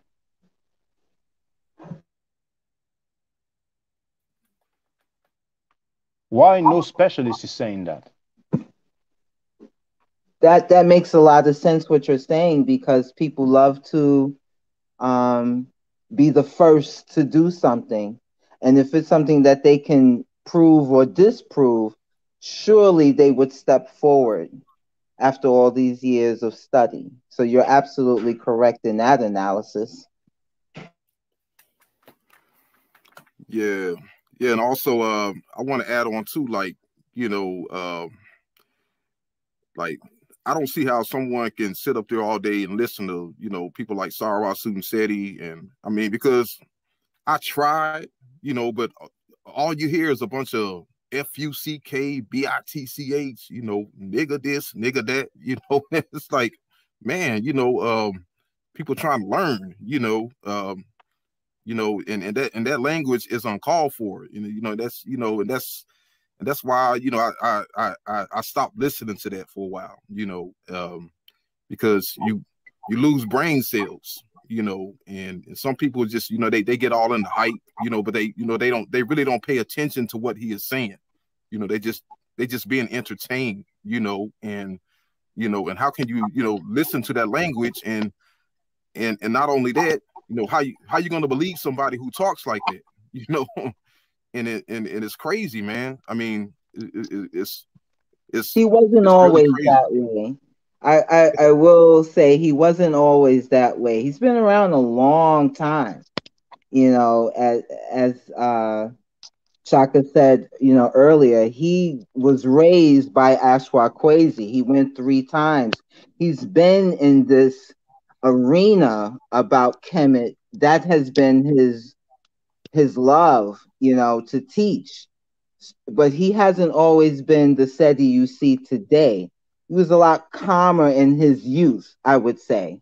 Um, now I don't know, I, I would like to say he's on a different mission um, maybe he's trying to get with, to the youth of today and the way they dialogue with each other. So, you know, I've heard him say that before, um, but he wasn't always the Seti you see today. Mm. Yeah, uh, yeah, yeah, definitely. I definitely agree with that. You know, uh, and I and I I uh I highly admire uh Kwesi because he is the reason why I got I got into this, you know, uh, study, you know, because he he was the like really one of the first ones that I heard, you know, uh teaching about Kemet and uh teaching how how the Bible stole the stories from Kemet and um you know, but yeah, I mean, yeah, I guess you know when when he uh he uh because later on, you know, he he he went his own way, and I guess when he uh uh got away from the the that influence from Ashra Kwesi, you know, he uh he started changing his language and, and getting off into what he called, you know, um um gang um RBG um what do you call them uh gang banger revolution, you know, some some something like that, you know, and, and it just you know and then, then after that just turned to a bunch of craziness you know. He also he also studied really with um, Ashra Kwesi's teacher, uh, Dr. Ben. Um, so a lot of the information he got firsthand from Dr. Ben. And I remember seeing a video Dr. Ben did also saying that um, the Medu Neter really hasn't been deciphered. He said that people were speaking gibberish. And and you know, he you know, again, um, you know, that I understand, you know, Shaka really did present information that it, it wasn't just Champollion, it was other people. And he also showed that, you know, 2,000 years before the Rosetta Stone, um, you know, these things. But, you know, Dr. Ben revered in, in the conscious community, people who studied um, Kemet really got their love of it from Dr. Ben. I know I did. I, I mentioned earlier that I really wish I could have went to Kemet with Dr. Ben, but I did go with Ashra Kwesi. Um, that's where I got my love from it, just seeing his videos and and the things how he broke it down. Um so Okay. you know So you I, actually, I'm sorry. I'm sorry. so you actually went on a trip? Yes, I, I did go to Kemet Okay. with Ashra Kwesi, and um, I like to put it in the year in which I learned it through him 62 55, which was Hmm. 2015. Okay. Oh, cool, cool. And So would- I if you if you have an opportunity to to do it, I you know he's he's really worth going with. You know, you learn a lot Hmm. with him. Oh, okay. Yeah, I'm definitely going to going to do it. Mm. And and I would like to say to, uh, if you- uh, well a couple of things really. Um, regarding the date, Cheikh Anta Diop, there's this book African Origin of Civilization, Myth or Reality, which is a, a English translation of uh, a larger work called in French Nations nègres et culture. So I, I don't really I've read that English version, but um, I don't recall if the date is mentioned, but there is the earliest recorded date in history um, which is something like 4000 uh, uh, BC. So that's the reason why you hear some people now saying, you know, we're in the year 6000 and so and so. Uh, that recorded date must have been like, like 200 years ago. Uh, I'm sorry. Um, uh, at, at the no, I, I'm, I'm sorry. I made a mistake if it's 4000 BC, because we are in 2000 AD, then you make the calculation that gives us 6000 something.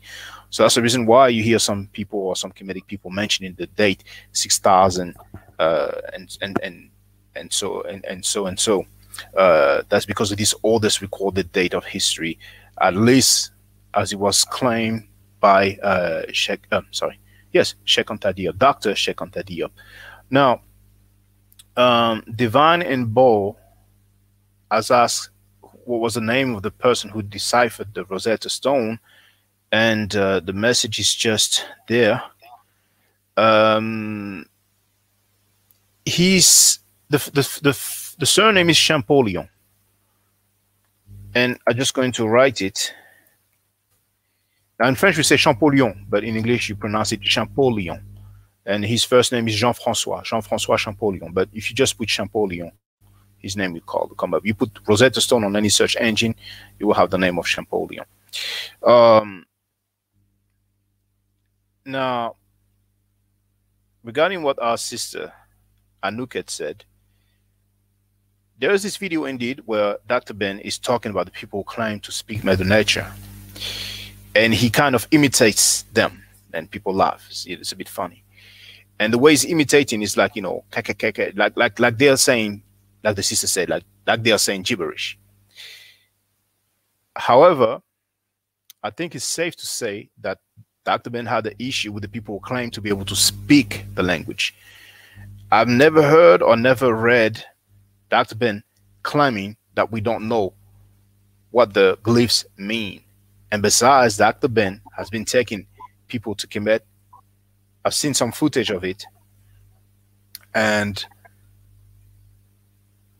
I don't think he ever said that it hasn't been deciphered. And I don't remember seeing him reading from the temple or from any artifact, but I wouldn't be surprised if he did.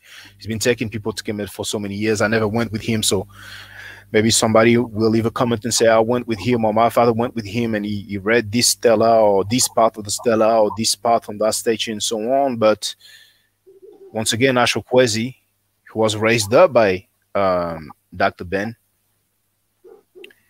Ashra Kwesi, we can see him reading some Medu Neter.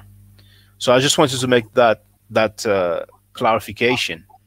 You're Dr. correct. Ben had yes, he had an issue with the people who claim to, to speak it because some people might have heard that before. It is said that the vowels were not written in the Medu Neter. However, we do have some vowel sounds like E, for example, and U as well. When I say Hotep Senu Hena Senut, we have the U sound, and U is a vowel. U is like U, really. See, it's, it's you. Uh, it's transliterated with the W, but I think it's safe to say that it's that U is is a vowel sound. E as well. Now in English it would be the letter E, but I'm talking about the sound E transliterated with the I or a J. So in writing, most of the time we don't have the vowels. That's in writing. But the people, they knew the language, you see. And once again, in Arabic, um, initially, it, it, it was written without the vowel sounds. And when I say without the vowel sounds, like for example, I, I, I gave that example before. Kitab, it's written KTB. Uh, later on, Islam spread, and in order to make it easier for the other people who not Arabic, they came up with this system of putting some um, diacritical marks, the kasra, the um, fatha. So with those little dots, the word e, that's why someone who's not familiar with the Arabic language, he will know that the KTB is pronounced kitab. Unless he hears an Arabic speaker pronounce the word, if he goes to read it, he just has KTB. But if he's learning, there will be some explanation, or you have a teacher, and the teacher will tell him that's kitab. Sometimes we come across some Arabic text, we don't have the vowels. You see? So unless but the Arabic is a language, it's still living language. It's not considered a dead language, like Latin, for example. So, well, some people still speak the language. So we don't have a problem about knowing how it's pronounced. And the last thing I wanted to say, I hope I will not forget it. Um, oh, that is, I forgot it. I forgot it. But uh, Hebrew is the same thing. Initially, you just had the consonants. See, Oh, yes, this is what I wanted to say. The convention of Egyptology is to add the vowel or the letter E between the consonants. It helps to pronounce the words more smoothly. But the Coptic being the latest phase or latest stage of the Medu the Coptic helps us to know what most likely, or wait, okay, oh, starting again. Okay, I had some connection issue. So the Coptic help us to know most likely how those words were pronounced. At the end of the day, if we don't know 100%, if we're not sure 100% how a word was pronounced, it doesn't mean that we don't know what the word means. See?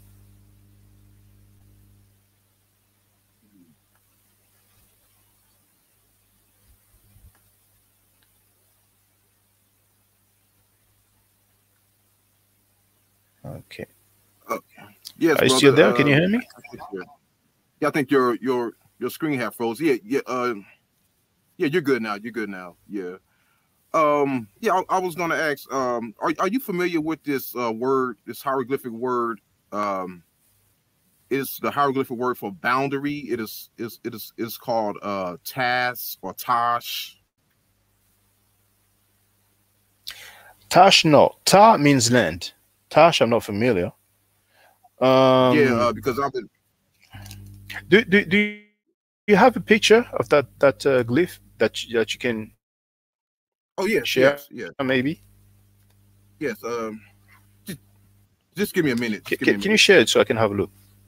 Oh yeah, yeah, yeah. Hold on, hold on. Let me see here. Okay. Yeah. Now, for the record, for the record, there's about 800 glyphs. So you have to cut some slack to someone if he doesn't know one glyph or one word that you tell him about. Because we have about 800 glyphs and to write a word a lot of time you have combinations of glyphs. Some glyph one glyph can stand for one word but some words are written with the combinations of glyphs. So that that gives a lot of um, alternatives. Uh, so i'm looking at Tash, but if, if I see the glyph, I will know how it will be.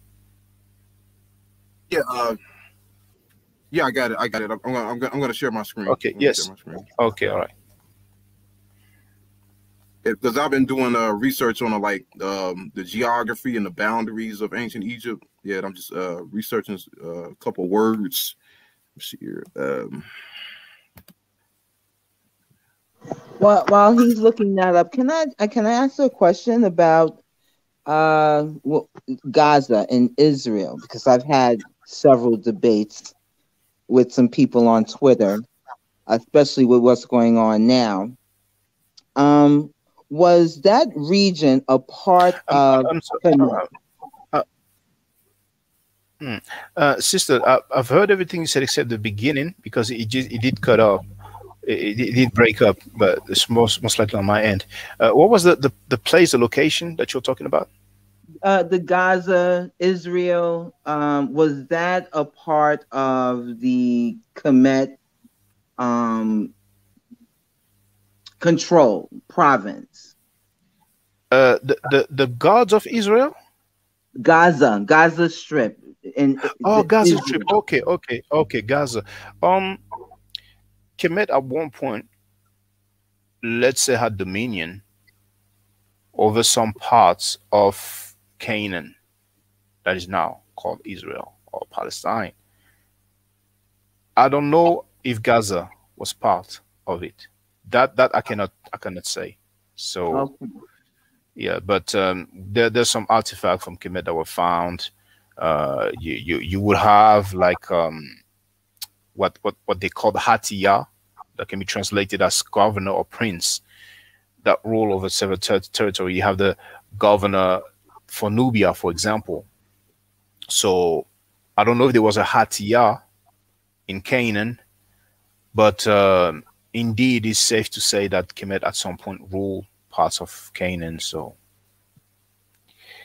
but feel free if you have any other questions. Now, now I can see it looks like Budge to me, and um,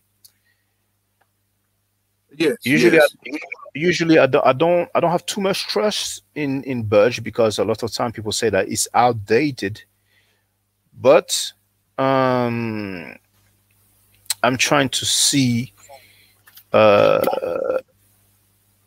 it's because uh um the, the the hieroglyph like it's, it's it shows like a um like a stele in the front and um and uh with a um a falcon a bird and uh in a like a boundary line, I guess. Um, let me look on Gardiner. Uh, let me look on Gardiner.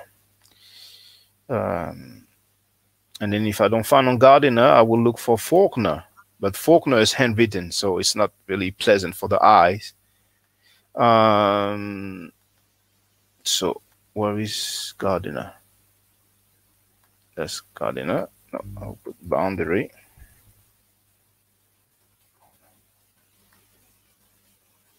Boundary uh 20 entries so. But it is it is mentioned by Gardiner. So Tash boundary yes indeed. Yes yes. yes, yes uh yeah that that you, you, that, that word can, is interesting. you, you you can quote um well you you should be able to find it online because i think it's on what's the name of the website again? Um when you uh, when the when the uh, uh, when the work are part of the public domain archive.org i think.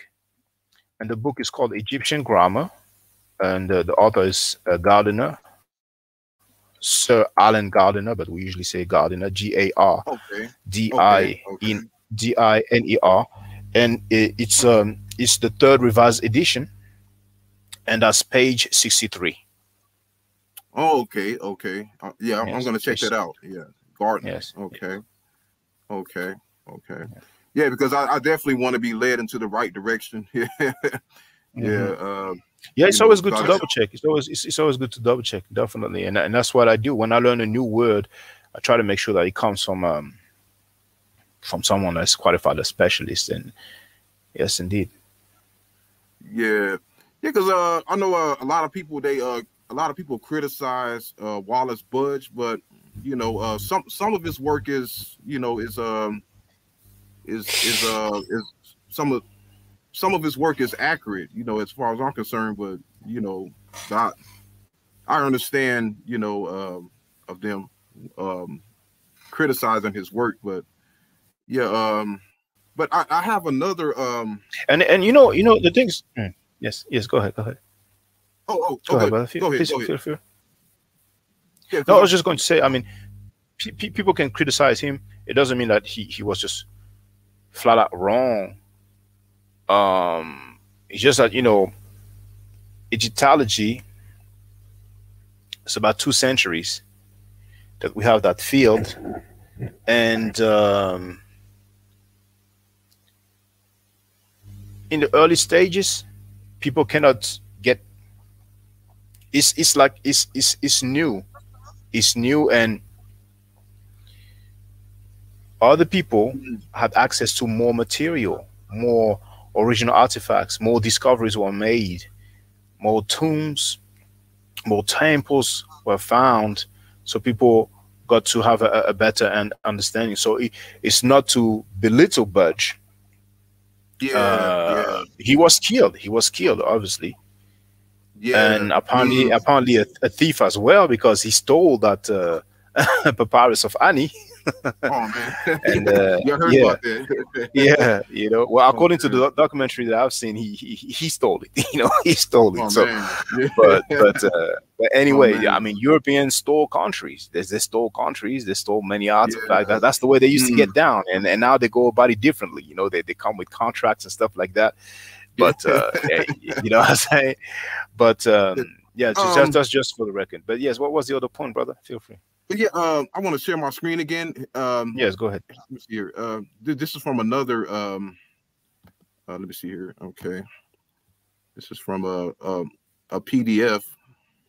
And you know, brother, while you're looking at it, one beautiful thing when you learn the Medu Neter, you go to some vocabulary, and when you go to a museum, or for those who have the chance to go to Kemet, and you see it written on the artifact, and you see that word again, and when you see a few words that you know next to one another, you basically get to read some short sentences and eventually long mm. sentences, and it just feels so good. Oh man, now, I, I see your it, screen. Hmm, I bet it does.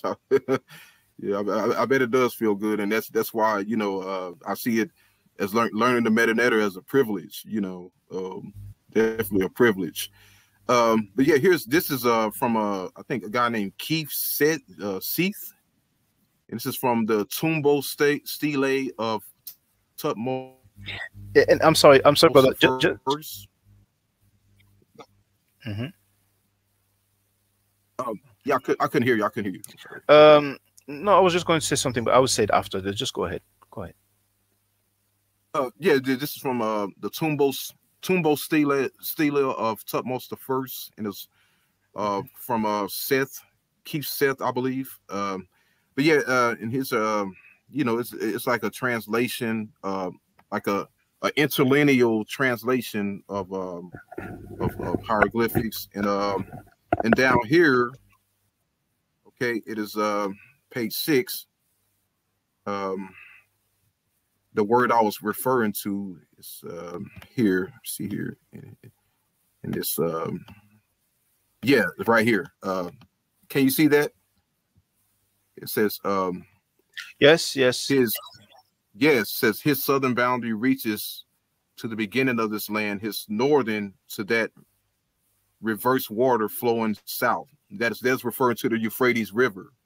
You know. Um, but uh, yeah, it, uh, for the word for boundary here is um, like at the beginning, Tosh. uh, T-S, yeah, Tosh, yeah, and it, and it has, mm-hmm. and here you, you can see it more clear. You know, it's a, it's it's a stele, you know, and um, um, a bird and a I believe like a, a line, a boundary line, yeah, and um, uh, hold on, that's I the. Just, I just I just want to double check uh, to tell you what exactly that glyph is. Um, uh,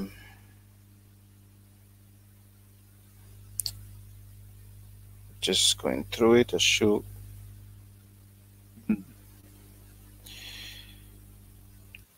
What is it to me? Hmm. Should be able to find it. Hold on.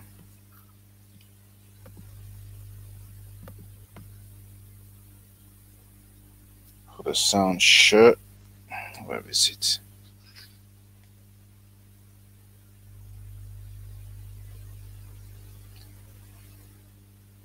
Sometimes I scroll through too quickly. Oh man. But that book, that book is so helpful. So well done. Hmm. Oh, there it is. U30 reference U30. Hmm. So reference U30. It's it's a potter's kiln. Hmm. Um, it's it's funny that uh, I don't have it there because uh, I have a small lexicon on that on that book. Oh, okay. At the end of the uh, at the end of the day, you know, you, you cannot have so much because you, you, I usually think, well, you know, that's an important word. How come it's not there? but uh, yeah.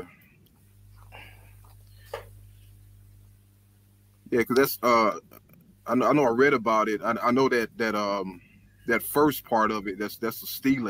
uh, like- oh, you know, you know, you see, you see now, now I get it. You see, you, you the, the first glyph on top of what you call a stele, that's a loaf of bread, and that stands for Oh, the sound okay. T. That stands for the sound T. Okay. Underneath that glyph is a biliteral. It's a glyph that stands for two sounds, and it's ta, T aleph. Aleph is what uh, when you see something that looks like a three, that's the aleph. Well, actually, it's there on the screen. Actually, I'm so used to is there. Oh, Now, ne- okay. next you have the sh sound. The sh sound is that rectangle. You see, Okay, okay. but Hmm. can can you can you show that that that um, that last that that thing from Budge because I don't recall seeing the rectangle, but maybe I, I did not look carefully.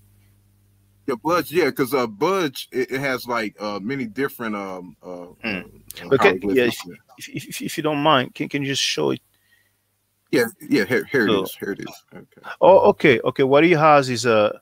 It looks like another. F- well, he has that rectangle, but he has these these two lines inside, and it's probably a an alternative of, of that rectangle. So that gives us the that gives us the the, the sound sure. So in, if you if you put all of them together, then then that would be tash.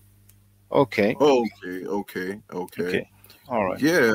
Hmm. Yeah, that's that's that's interesting. Uh, because um, it, it seems to me that um, that um, these boundaries that they reach, you know, they they they left um, um, like a stele or or rock art, and um, and I know like reading um, reading history and uh, such as uh, ancient historians as well. You know, a lot of these um, steles or bou- boundary lines that these um pharaohs made in the and, it, and it's talking about like far distant lands you know it had, it had a boundary um a boundary in uh along the euphrates where they the pharaohs tutmosis they erected a stele or should i say a tablet you know to you know for the to prove that their you know their their boundaries and the you know how far their conquest went. And um and it and you know and it and it also says that you know um it, it mentions punt the land of punt the horn of africa you know and uh it mentions uh the far west of africa you know and and uh and it mentions uh the south and kush and nubia and you know you, we, we still find uh the the the the Jebel Barkal still still uh, of Tutmos the third in in in, in Nubia or Napata, but like these steles or these boundary lines, you know, they're they're not found anywhere else. You know, you know, like um the one that that was erected along the Euphrates River. You know that there was no discovery of that either. So you know, but but it, it seems like you know that's that's what this you know uh, this word means. You know, um, when it says uh, a boundary, you know they they they they left um a, like a stele or a rock showing that how how far the the boundaries and the conquest of Egypt reached, you know, and and I just found that interesting. I see. Yes, indeed. Punt is pen Penwet in Medu Neter actually, and uh, it is it is written. And uh, what we know as Kush in Neter is actually uh, pronounced Cash. And uh, yes. that, that that that rectangle that's that gives us the sh sound. Mm-hmm. We you, you you can see it with the word cash written. Oh, okay, okay, mm. yeah, yeah. Because uh, you know, uh, in the in the Medu you know, I hear the, you know, in the the writings of Tutmosis and Hatshepsut, they say my southern boundary is as far as the land of Punt. My western boundary is as far as the the land of Manu. You know, my eastern boundary is as far as the Euphrates River. You know, and and that's the word that's used for boundaries is Tosh. You know, yeah. So I, I um, found that interesting, and uh, a lot of people don't know that. You know, because uh, some some people that I discuss with, you know, um, I had asked them that question and um, and they didn't know, so I had to do my own research, and you know that's how I found that out. You know, but yeah, that's that's that's that's very interesting. You know, and that's why you know I, I've been uh, learning some Greek as well. You know, um, you know because uh, the Ethiopians, I, I you know I studied the Ethiopians, so I, I got to learn some Greek. You know, but uh, yeah. Um, yeah, but, but I'm, I'm, I'm actually I'm, I'm, actually planning to learn Greek as well because it will help me with the Coptic. it will help me with yeah, the Coptic yeah. because uh, the, the Coptic is uh is uh mainly with uh, well it's actually with Greek letters, but there's seven if I'm not mistaken seven additional letters that they that they came up with because uh, mm. those sounds did not exist in the Greek language. So um, Greeks can actually help you when you study ancient history, and and and with me there was a, there will be a bonus. I'll be able to actually uh, get to be familiar with the with the Coptic.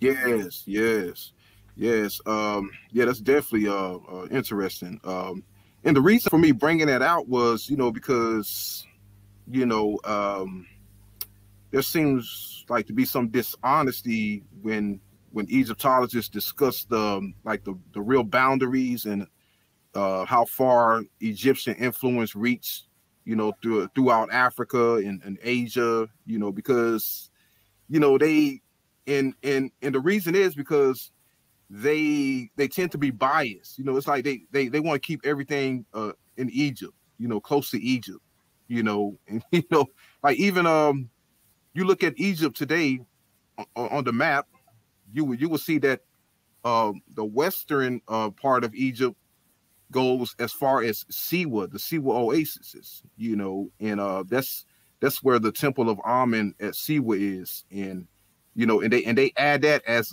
as a western boundary of Egypt, you know, but the Egyptians in the hieroglyphics saying that they reached the extreme west. They went far, far west. You know, they, they went much farther west than that. And they called it the ends of the earth or the, or the horns of the earth. And, you know, um, the Western desert is not the it's, it's not the the ends of the earth. You know, that's that's in the middle of the continent.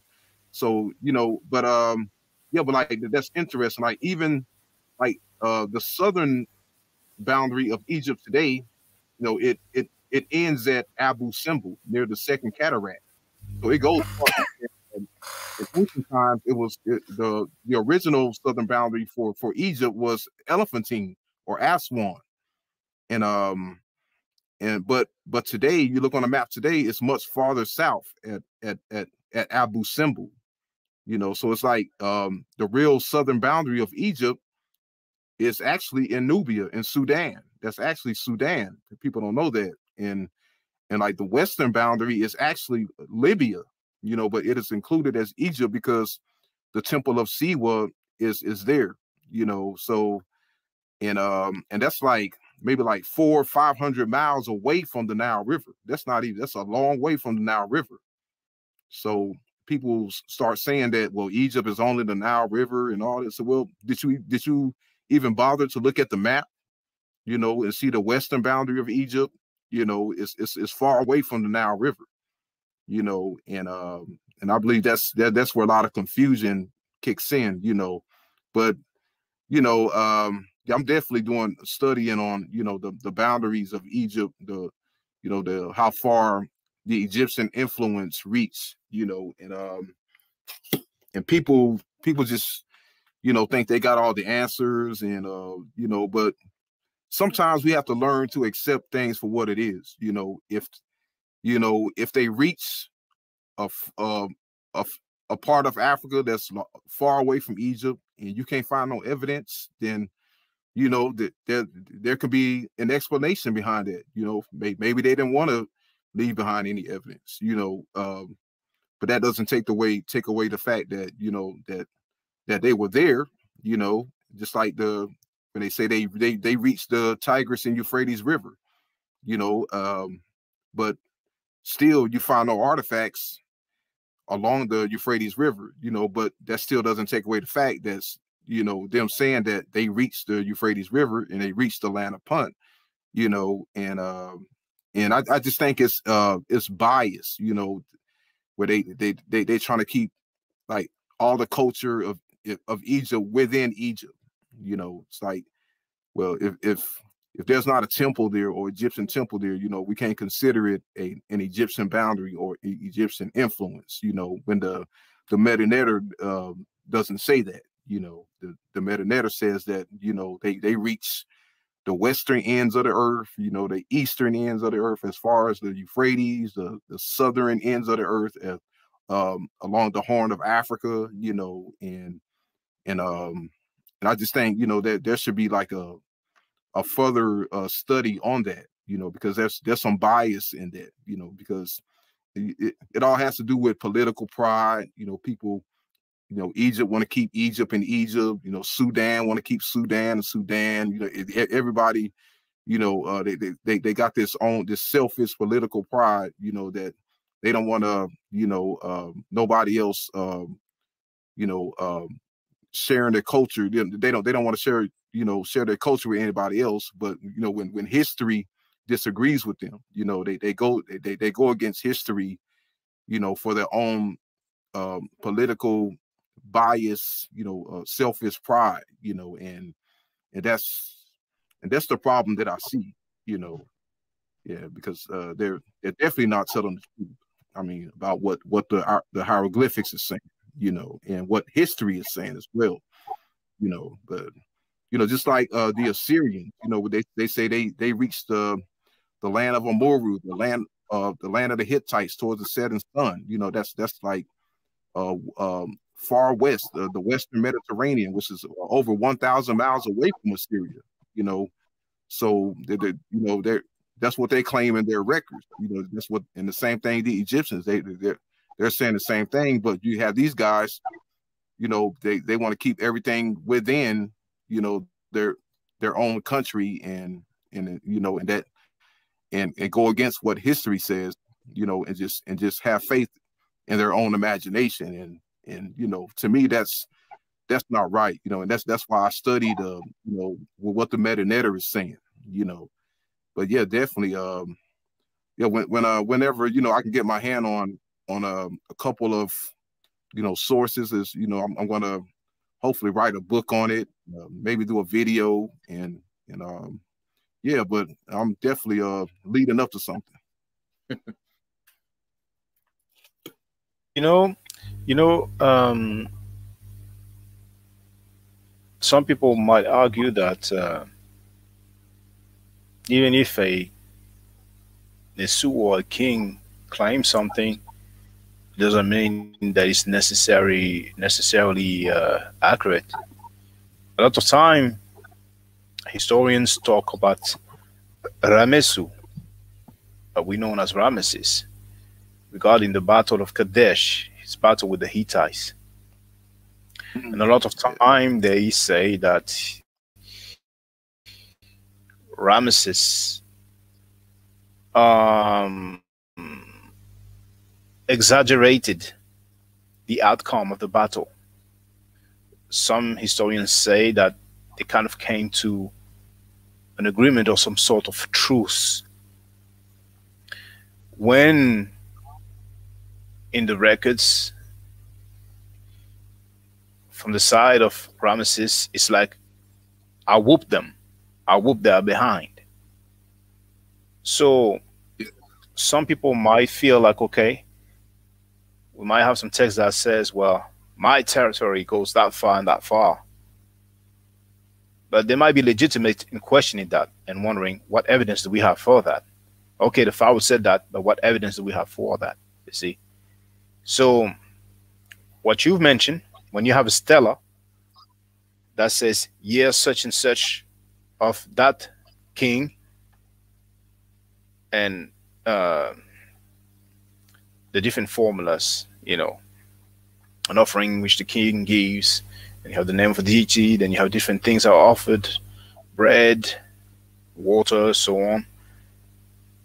That's a clear evidence because it's like the gangs that will use graffiti and they put the graffiti on the wall. Like that's our that's our territory. The Americans, yeah. the one on the moon, they put their flag. You know, they, they they they go to a country, they have their their military base, they have their their flag. You know, let's let's us know that's us. You go to most capitals in whatever country, that's where you will have the embassy of foreign countries, and of course you have their flag. So mm-hmm. that's a clear evidence. Mm-hmm. Now, if we don't have that, the question will be: Do we have mention of such king? Do we have anything that lets us know? Okay, there was some clear influence or dominion. You see? Yeah. Hmm. But whenever we have records, we can't go wrong.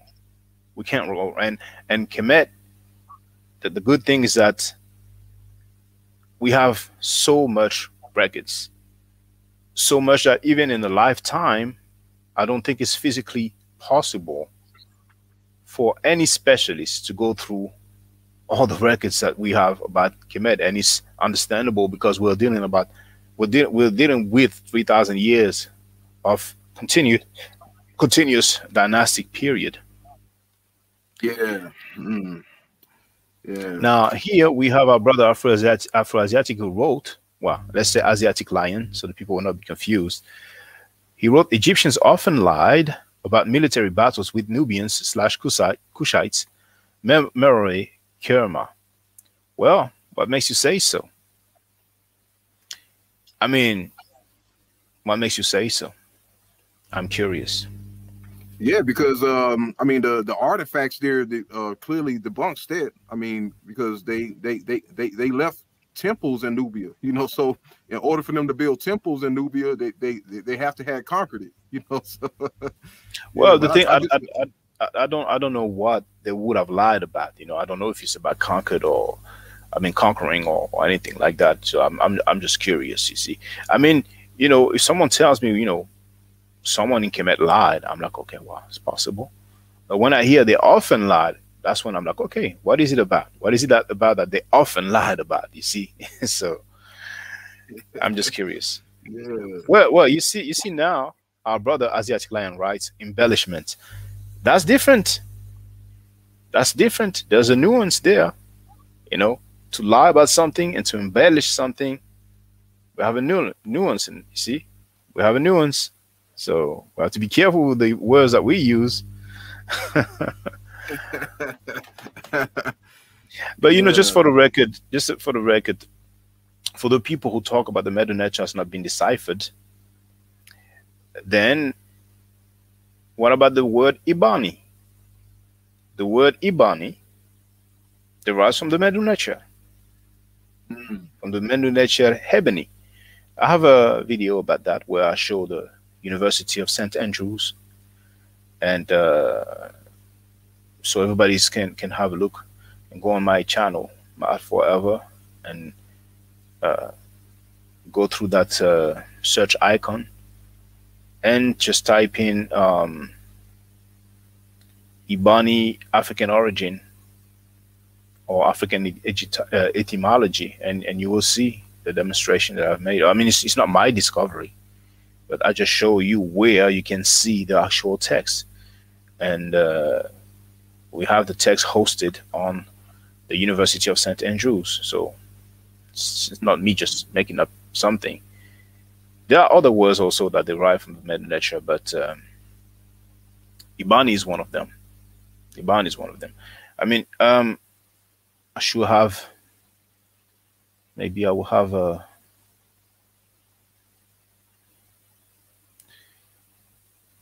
too many notes there. Okay, if I type, maybe if I type English, um, okay, I don't have any, but Ibani is one of them. Ibani, there's, there's a few others, but Ibani is one of them. So how come you have that word that derives from the Medu Neter if it hasn't been deciphered? Yeah. Hmm. Yeah, that makes a lot of sense. Yeah. I mean, I, am very sad about this claim from our people that the Neter has not been deciphered. But then again, I guess now the challenge, for lack of better words, all of you brothers and sisters, all of you people who believe that the Neter has not been deciphered, then find us some specialist, find us a PhD who has that claim, who has who has that stance, let's say. Find us a PhD who has that position. You see? Mm, at least let's see a specialist that is ready to engage fellow specialists and let's hear his demonstration. But for someone to come and write a book about the historicity of Jesus and over two pages say, well, we were not there, so we don't know what they meant when they wrote the symbol, so it hasn't been deciphered. With all due respect, that's ridiculous.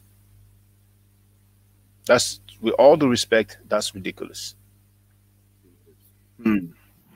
We, we, we were not there when they came up with the alpha and the beta and so on. Hmm. It doesn't stop us from reading the language. Yes, and um, also um, about that boundary as well. Um, also want to mention that as well. Like uh, those, like the people that reached those boundaries, you know, they they were military, they were soldiers, you know, and um, and like those uh, tablets or steles that they set up as boundaries, you know, I believe that they were destroyed in, in some point of time. You know, um, sometime in antiquity, um, you know, um, and I believe like when it says the western, when he reached the western ends of the earth, you know, I believe that that would be somewhere in Mauritania, you know, um, you know that, that that goes past the desert, you know, and um, but I believe in uh in the Horn of Africa, the southern boundary, you know, I believe that those those those steles or those rock were destroyed in some point in time, and that's why you know we we don't see them today. You know, um, you don't know when they were destroyed, but you know, but they were definitely destroyed, and along with um, many other things. But you know, and that's why you know um, the evidence is from the hieroglyphics. The I mean, the, the evidence is from the Medu Neter. You know, they you know they're saying that you know they they set up these boundaries. They they set up these steles as their boundaries and you know, and and uh, unfortunately, you know, we find like no none of these steles in the western parts of Africa, you know, and I, I say that, you know, that at some point in time, you know, they, they they they were destroyed by some some type of invaders or maybe or like people fighting against them amongst amongst each other, plundering and you know, and, the, and these um these these steles got destroyed, you know, and um and I believe that there there were, yeah, there were there, there were also more in uh more of these uh, steles in Nubia as well, and they some of them got destroyed. You know, but that, that's a theory. That's a theory. That's a theory. Yeah, and yeah. and let, let, let me just uh, answer a question after addressing this. Asiatic Lion wrote Alpha from Aleph. Well, Alpha from Aleph and then from Aleph. You know, it's all this this Canaanite language, this Canaanite language, and um, okay, I will leave it there. I will leave it there. A lot of people talk like to talk about all the Hebrew or ancient Hebrew, but um, I forgot the term that Théophile Obenga used for that Canaanite language, I'll have to look it up again. But I think out of convenience, they just called one of these Canaanite language Old Hebrew. It's just more convenient. now, we have um, Devance Bar and Arrow wrote, Do the current inhabitants of Egypt govern by Ma'at? Not at all. It's, it's not a, an Islamic republic, but uh, majority of the inhabitants of uh, Egypt are Muslims. So, no, nowadays they don't govern by Ma'at. Asiatic Lion wrote Aleph is the black bull, the alpha. The bull, yes. Black bull, I don't know. That's a theory of your favorite PhD. I'm not saying it's not the case, you know, but indeed, yes, the bull. Yes, Aleph, the bull. Mr. Sharp wrote, also they say only 30% of Egyptians were illiterate. Well, uh, there's a PhD that I've read, and um, I think he said like 5% of the people were literate. So we won't know exactly for sure the percentage, but there are reasons to believe that uh,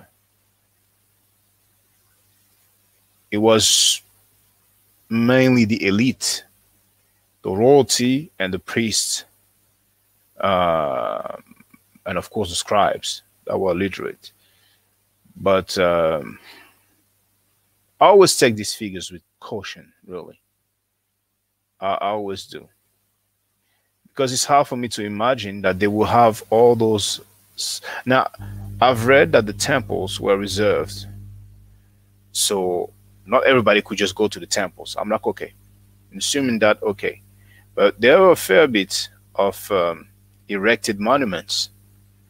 And I find it strange that we will have some erected monuments in in the road, in the streets, and the people will pass by those monuments and have no idea of what is written. It is possible, but how can we know for sure? Now, go all in road, the Arabic is not far off Medu like Hebrew. That's that's a preconceived idea. And this time I will look for a quote. As for the record. Now, I'm going to quote PhD Richard Parkinson.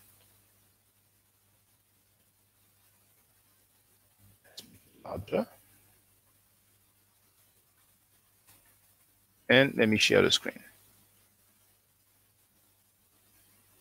Because the Medu is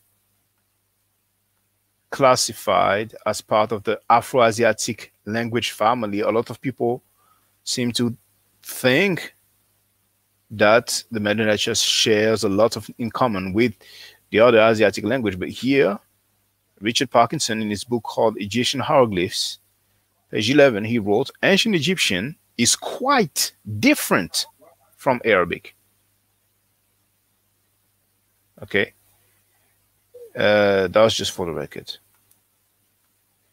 I mean, I have other quotes that that explains that uh, it doesn't share much, but um, it would take me some time to find the other quotes. Um,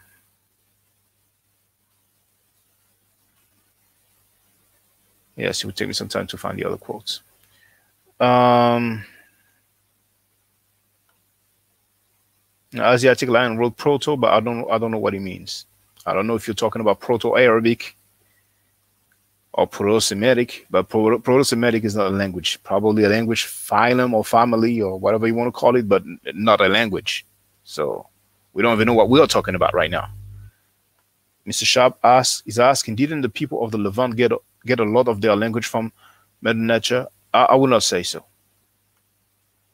I, I would not say so. Um, where is the chart? um, I, I took a picture of a chart. Let me look for it so I can share it.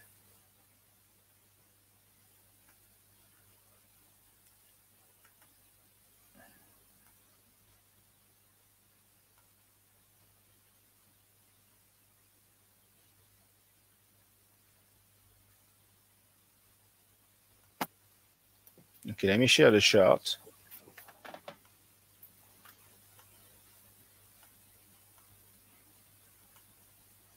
Uh, this book is called Phonology and Morphology of Biblical Hebrew.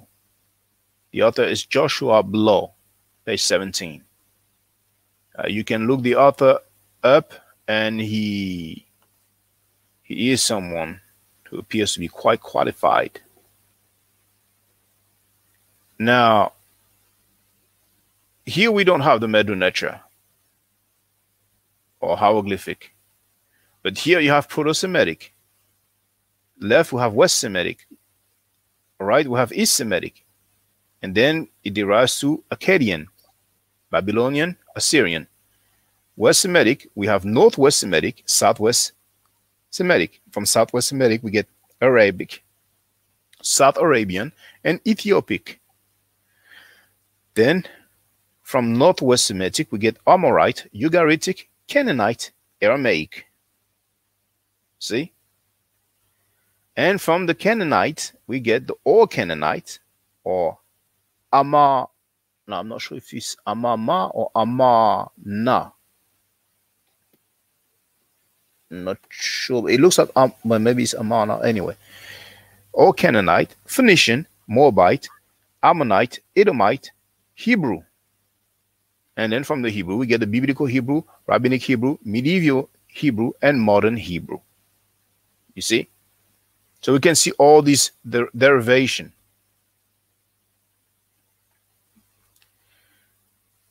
And actually, we have Claudia Barton who's asking, Théophile Obenga addresses that topic. Are you familiar? I'm familiar. There's this very nice video of Théophile Obenga, and I will look for it because he shows a chart as well. So Medu Neter.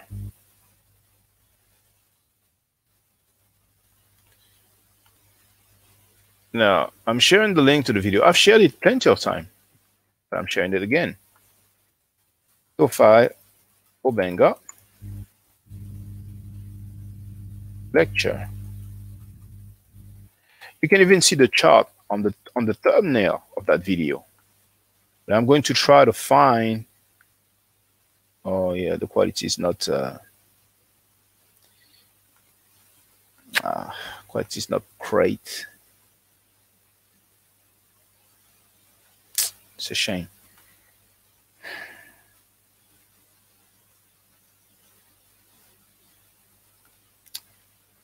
Okay, you, you will see what I mean. The, the, the quality the quality is not um, if you look at the video, he will tell you what is written but just seeing it, just looking at it, it's a bit difficult to to distinguish what is written on the screen. And I think Claudia Barton is probably talking about that video. But we can tell that at the top it says Egyptian. And then here it says Phoenician. Now I cannot make up. Let me try to go back.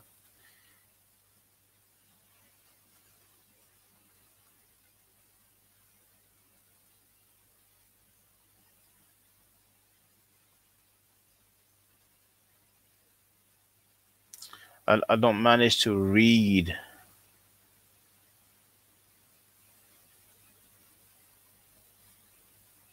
Okay, now we have a close up. But here we have Samaritan. From the formation, we have at least Samaritan here. And but the rest I don't manage to read.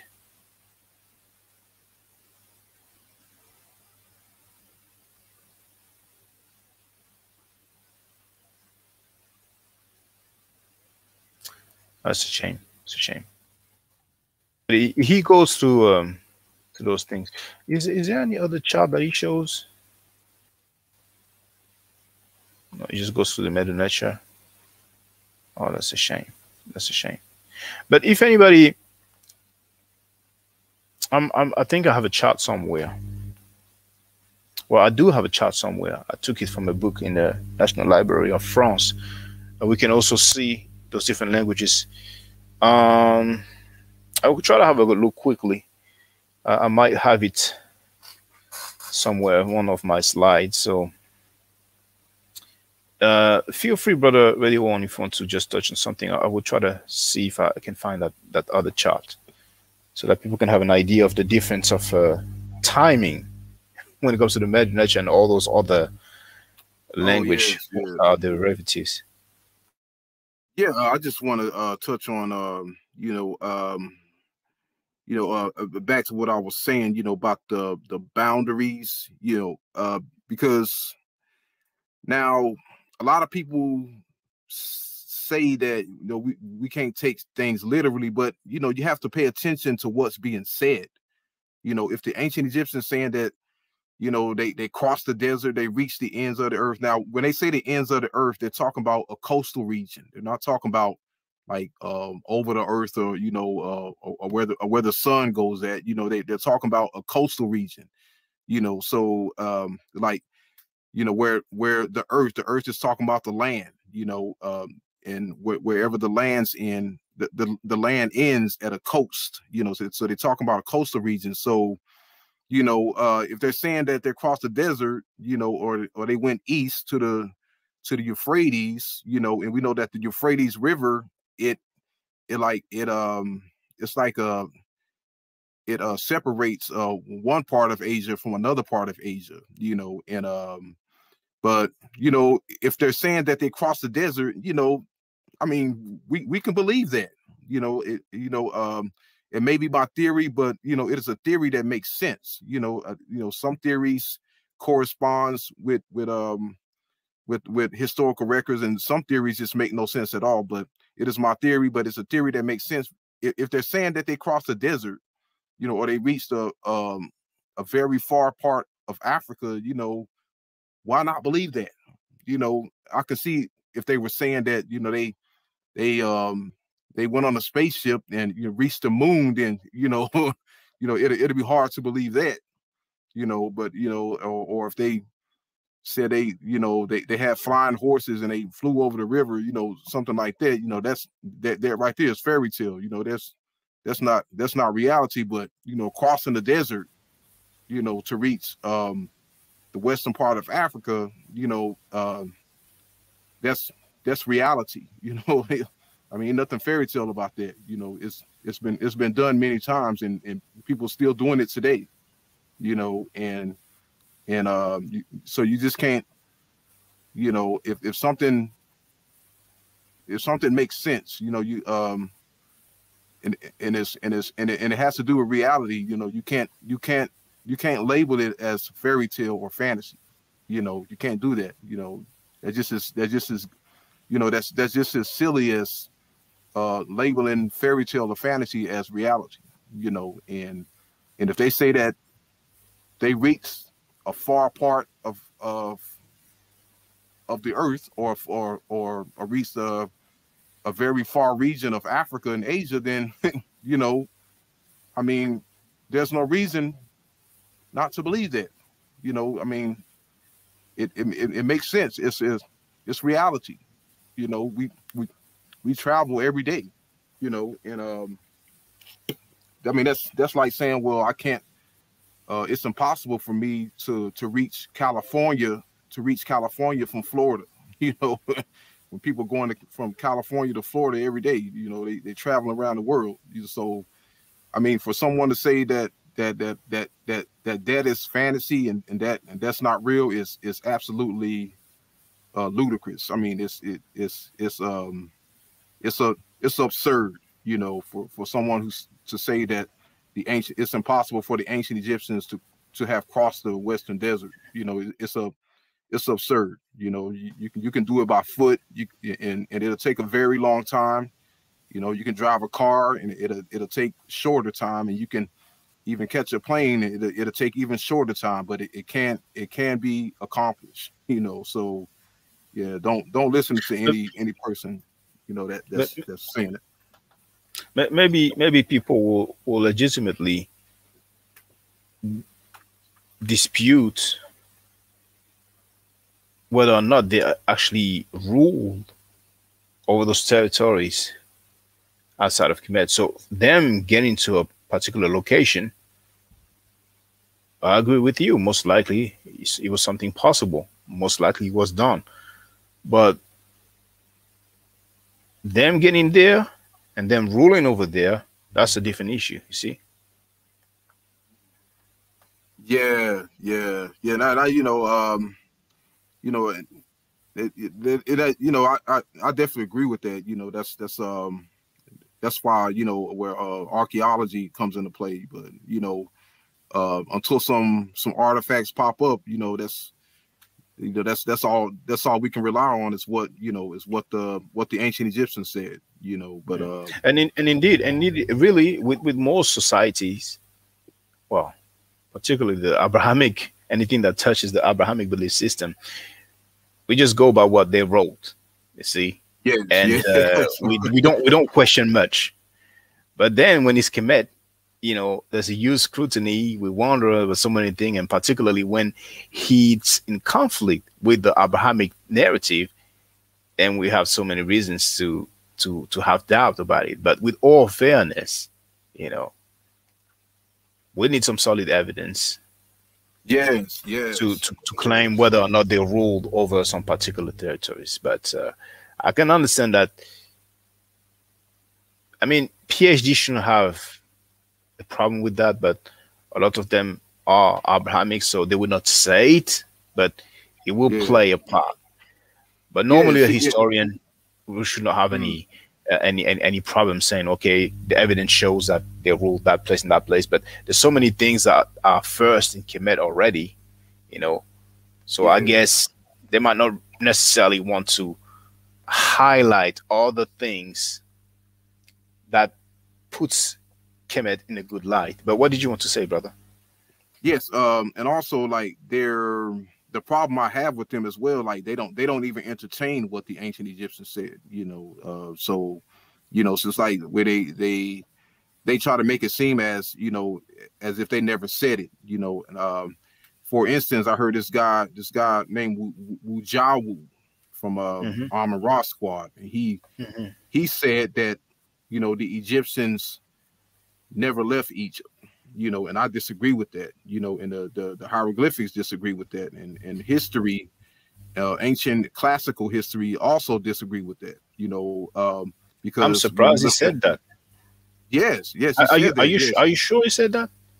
Yes, yes. Wu, um, yeah, Wu Wu Jawu. Yeah, he said it. Uh, I heard him say it on uh um, uh, he was on a Dagger Squad channel. He said that, and, and uh, well, I'm surprised he said that because he's familiar. He's familiar with the Medu Neter. Egyptians never left Egypt. And yes. I'm, mm. I'm, surprised he said that. I, I, I, don't know if it was a misunderstanding or I don't know what he meant. I haven't heard his words, but uh, he, he's he's quite familiar with the Medu Neter. You know, he, he's giving classes as well, and uh, they they chased the Hekakasut all the way to Syria, Palestine. Yes, and they, yes. they, they have some rulership uh, at least some some sort of rulership in those areas. So, hey, you know, everybody's entitled to to their opinion now. You know. Yes, because uh, the ancient Egyptians, like they they were the like the first ones to really like go out go out on the conquest and you know outside of Egypt. You know, uh, you know. Um, after the Egyptians, you know, we, we hear the Assyrians doing it, then the Persians, then come the Greeks and the Romans, but the Egyptians were the first you know. You see, you see, brother, you see, maybe he he tried to mend, and this I would agree. Go all in, and I'm sorry to cut you off, brother. Um, Go all in wrote Egyptians didn't live en masse, in mass. Uh, so that yes, I can understand that you know they, they did not you know travel like a like like according to the biblical narrative, you know, the, the, the whole people of Israel who, who travel altogether and left Egypt and settled in Canaan, you know, took away their land according to their narrative, you know, not that I believe in it. Uh, but but but when when when I hear the statement the statement the Egyptians never left Kemet, to me, the way I understand is that you know no Egyptians left. So but but you see it's it's a maybe it's an issue of interpretation. You know, I, I, it's, it may be what he meant is that they did not leave indeed in mass. It, probably that's what he meant. Yeah, um, uh, yeah, and I, I will also have to disagree with that because due to the fact that when Egypt was populated by Egyptians, they constantly took back Egypt from from foreign invaders. You know, when the Persians conquered Egypt, when the, it started with the Assyrians, when the Assyrians conquered Egypt, the, the Egyptians took back Egypt. You know, uh, sometimes the Cushites no, came. No, no. Yeah. What, what period are you talking about? Yes, uh, during uh, because uh, I, I I got the records um, during the reign of of of of, of Esarhaddon, the king of Assyria, when he conquered yeah. Egypt. The the okay, it uh, the Ethiopian what, what, six, six hundred BC, right? Yes, yes, yes, yes. But they, I, I um, think I think I, think that was the end. You know. Um, no, no, no. Um, it, no, it, it it it it took place like uh well after that as well. Um, like when um when the Persians conquered Egypt, you know, you had um this guy um Nectanebo. He he he took back Egypt. His his ancestors. Um, you have a pharaoh called Teos. You know, he he kicked the Persians out and took back Egypt. So they they were constantly at war with the Assyrians and the Persians for you know to take back Egypt. But actually, um, actually, Nectanebo that's after that. That's like uh, the fourth century yeah, uh, BC. You see, yeah, but, yeah. because you see, Taharqa, the twenty fifth dynasty, is is like one of the last uh, dynasty where indigenous Africans ruled. But but when the Assyrians came around 600 BC, when they took over Thebes, that that was a, the last time indigenous Africans ruled. After that, to my knowledge, no no no other indigenous Africans ruled Kemet. That's when he was, you know, finally conquered for good. Wasn't um, wasn't it the Hyksos that invaded first? Conquered yes, they invaded. They, they, yes, they, they, they, they, uh, well, let's say between 1500 BC to three to 1300 BC, uh, they they conquered first, but then the indigenous Africans uh, got them out. So so so they regained control of Kemet. But after the Assyrians came around 600 BC, after that, nobody took control of, well, no indigenous Africans took regained control of Kemet again. Oh no, but but um, what what about the 26th dynasty though, of the Psammeticus and the yeah, because they uh from from my understanding they they they kicked out the Assyrians and ruled, and um, it was them who fought the Persians, who fought the the first invasion of the Persians, which um, was the last king of the 25th, the the 26th dynasty. Well, let, uh, let, let me see. Um, yeah. Let me guy see. named uh, Psammeticus the Third. Psammeticus the Third. He was the last king of the 26th dynasty. But do, do you think that was in African? Um, yeah. Um, well, that that's that that that dynasty was um uh, originated from Sais, which is uh on the northeast, uh the north uh no the, the northwest of of of Egypt, uh near near Alexandria. They they they were called the Saite, the Saite pharaohs, and um yeah, I mean it's uh they like they were based in the north, but yeah, uh they they were definitely uh indigenous Egyptians because they they originated from Sais and um and some some some but some may say that, that's that's around the delta. I, am cautious about that. I mean, I I think yeah. you know they they I'm I'm not sure that they were they were Africans. I mean, when I say Africans, of course, I mean black Africans. You know. Oh yeah, yeah, um, yeah. Uh, some, some some say that they were Libyan in origin. You know, they they come from yeah. They, yeah. Yeah, but that, you know that, that that could be the case, but um, yeah, but they they were the ones who were at war who, who kicked the Assyrians out, and then you know they, they fought the battles with the Babylonians. You know they they they defeated the Babylonians, and then uh, at last, you know they they were conquered by the Persians. But even after the Persians conquered Egypt, you know they they the Egyptians were constantly at war with the Persians. And um, all and, right, and, you you you you're talking about Psa, um, Psamtik the first of Sais, right? Yes, yes, yes. Psamtik. Yeah, he he was the he is the pharaoh that that is credited for uh, defeating the Assyrians and uh, yes, and, uh, mm-hmm. creating the the 26th dynasty. Uh, mm. Yeah, and um, and when that dynasty came to an end, you know, um, the Egyptians were constantly at war with the Persians, you know, for possession of Egypt. And um, and after the last king Nectanebo, we hear no more. You know, no no more um, revolts.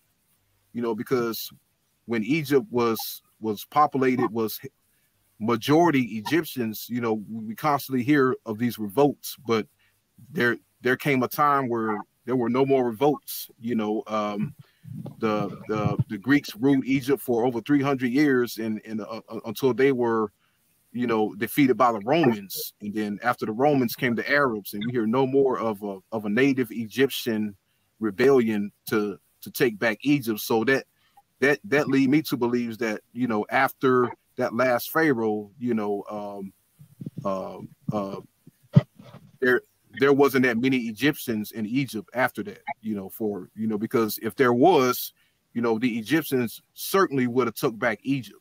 So that's why I disagree with that, you know. Uh, in in a book that I got from um, Ashra Kwesi, um, outlining, of course, it didn't have all the the Nasut Bitis um, listed, but um, and forgive me, I cannot pronounce these names but the first one he has stated on the 26 uh, dynasty is N E C H O the first. N E C H O. Yes, the first. Okay, Necho the okay. Uh, uh, okay, I'm not familiar with that one, but uh, and as and he states what? here for the 27th uh, dynasty, that's when the Persian rule. He lists no names because you know he's he doesn't care about them, but he lists that they started to rule um, at the 27th dynasty.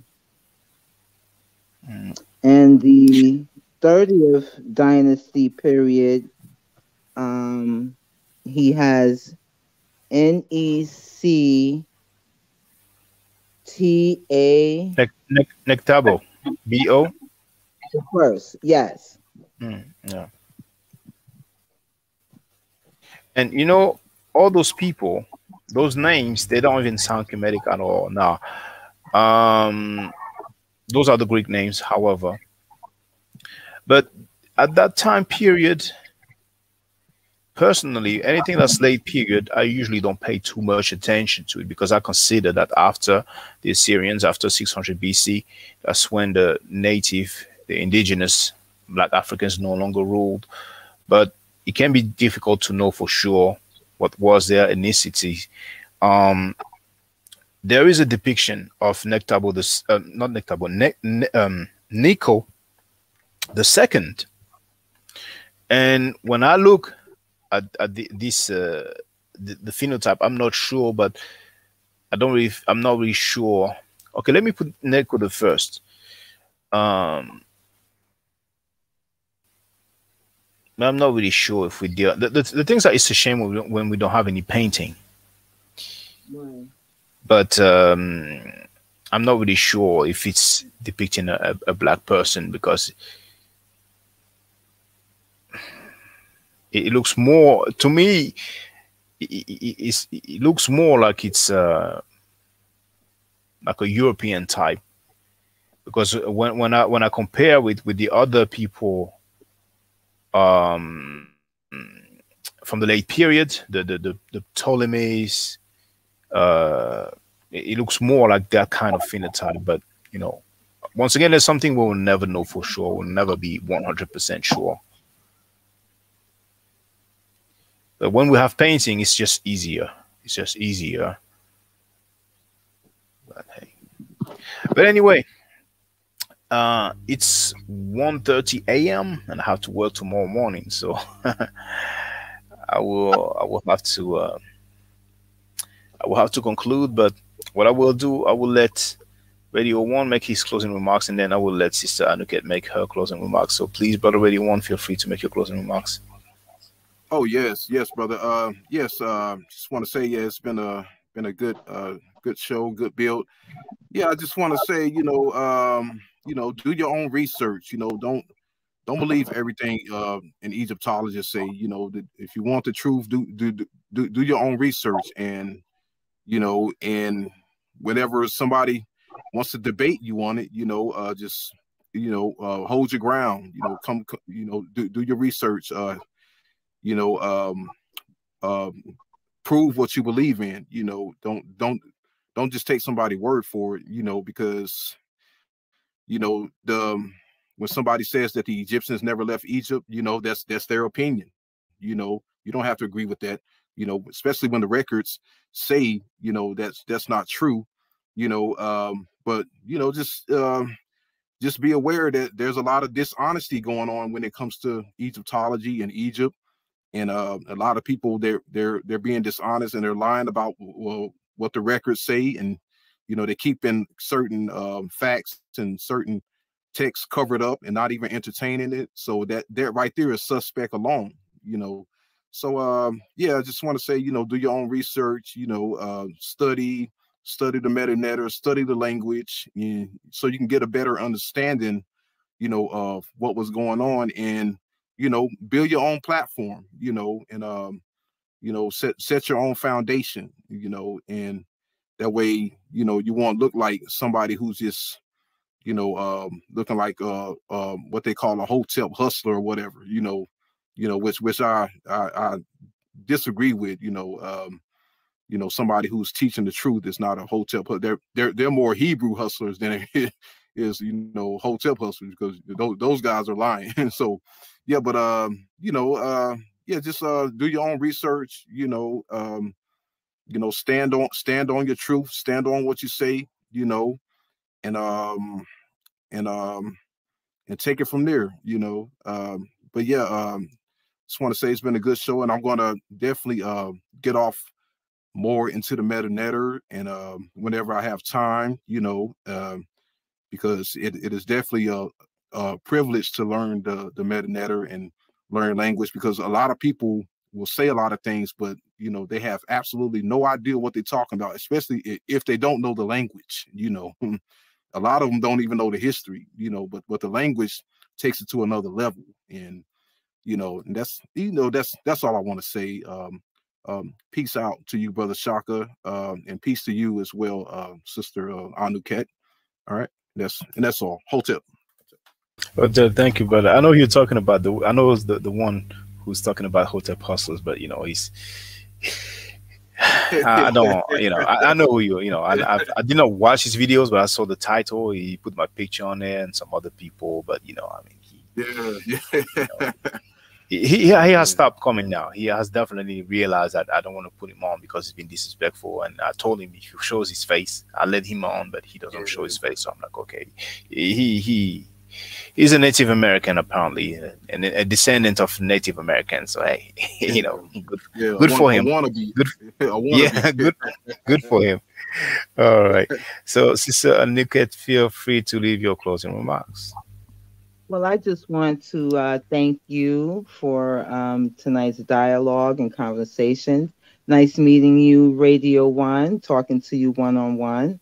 I've seen you up here a couple of times when I'm able to check in. And, um, you know, I'm, I'm thankful that you allowed me to share my experience uh, going to Kemet and, and, you know, the little bit of knowledge that I do uh, know. Um, I'm thankful that you allowed me to share it with your you and your audience. And um, keep teaching because you're official.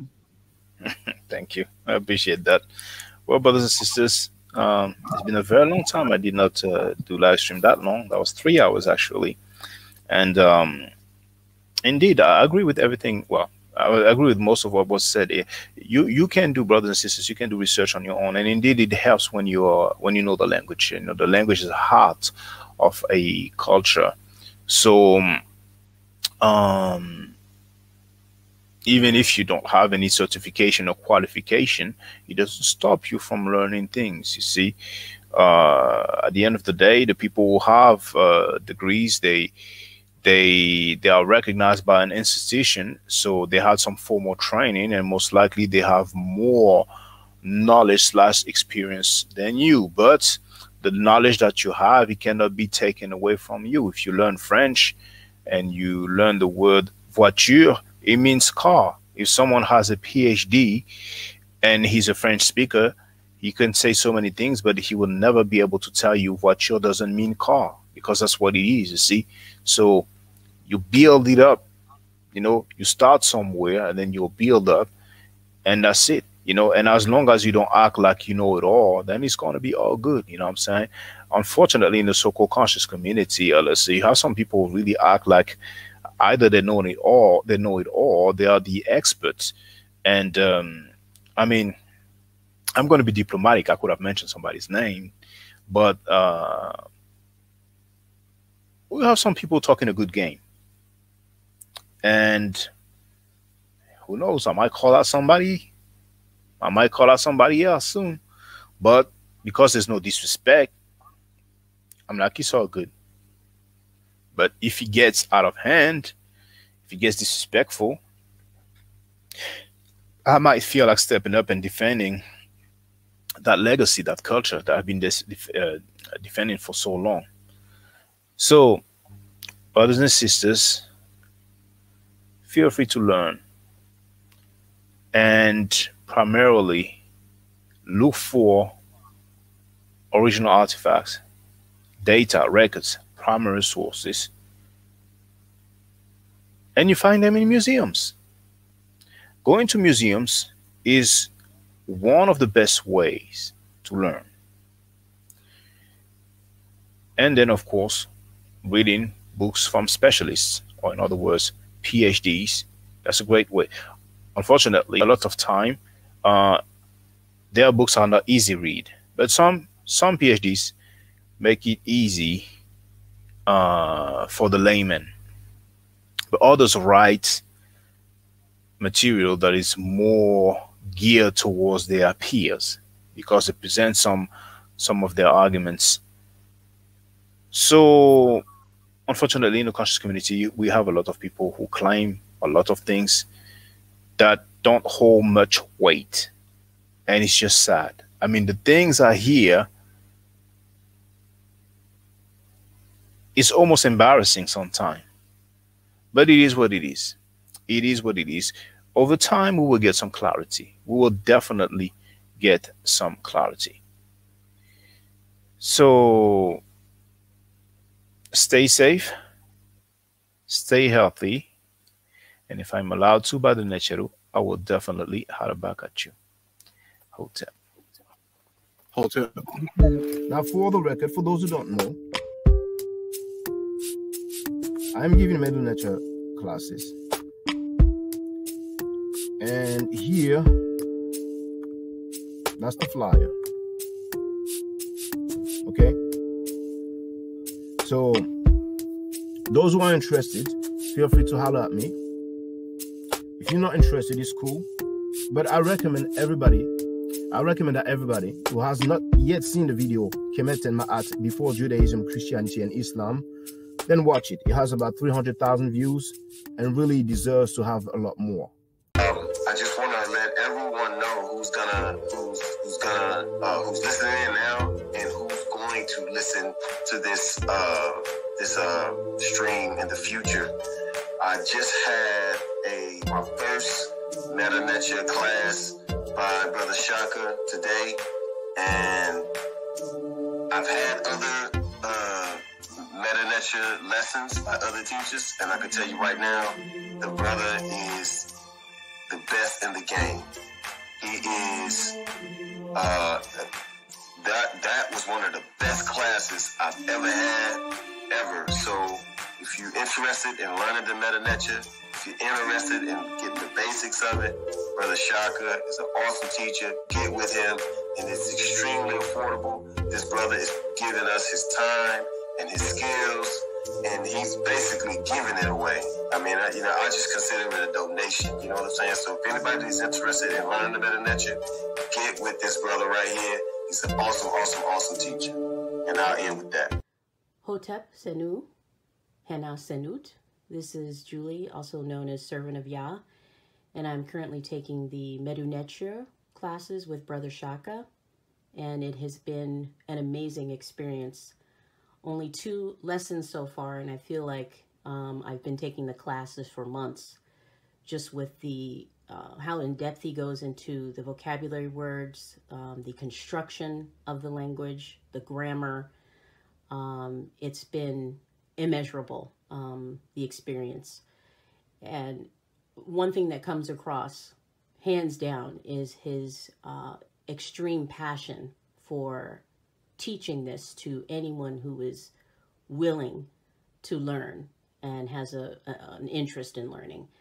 So I highly suggest, um, if you are interested, even a minimal interest, that uh, you subscribe to the classes with Brother Shaka. Um, it's such a nominal amount for how much you get. Uh, I know like our last class was uh, over two and a half hours. It felt like two minutes, but because that's how, you know, involved you are in what he's teaching and how he teaches and how compassionate he is about what he teaches.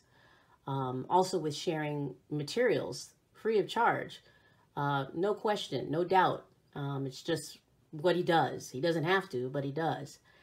And so I just wanted to give a short testimonial um, about the class and the effectiveness of the class. And uh, all of that is attested to uh, how studied Brother Shaka is. Uh, so I highly recommend anyone with a minimal interest that you do sign up for the Medu class. Hotep. Don't forget subscribe to my channel, which is Ma'at Forever. Don't forget to watch the video entitled Kemet and Ma'at. Don't forget to share Kemet and Ma'at on my channel on Twitter, Facebook, Instagram, WhatsApp, or other social media that you use. Email, text messages, you name it. Those who wish to donate can do so on paypal.me slash forever.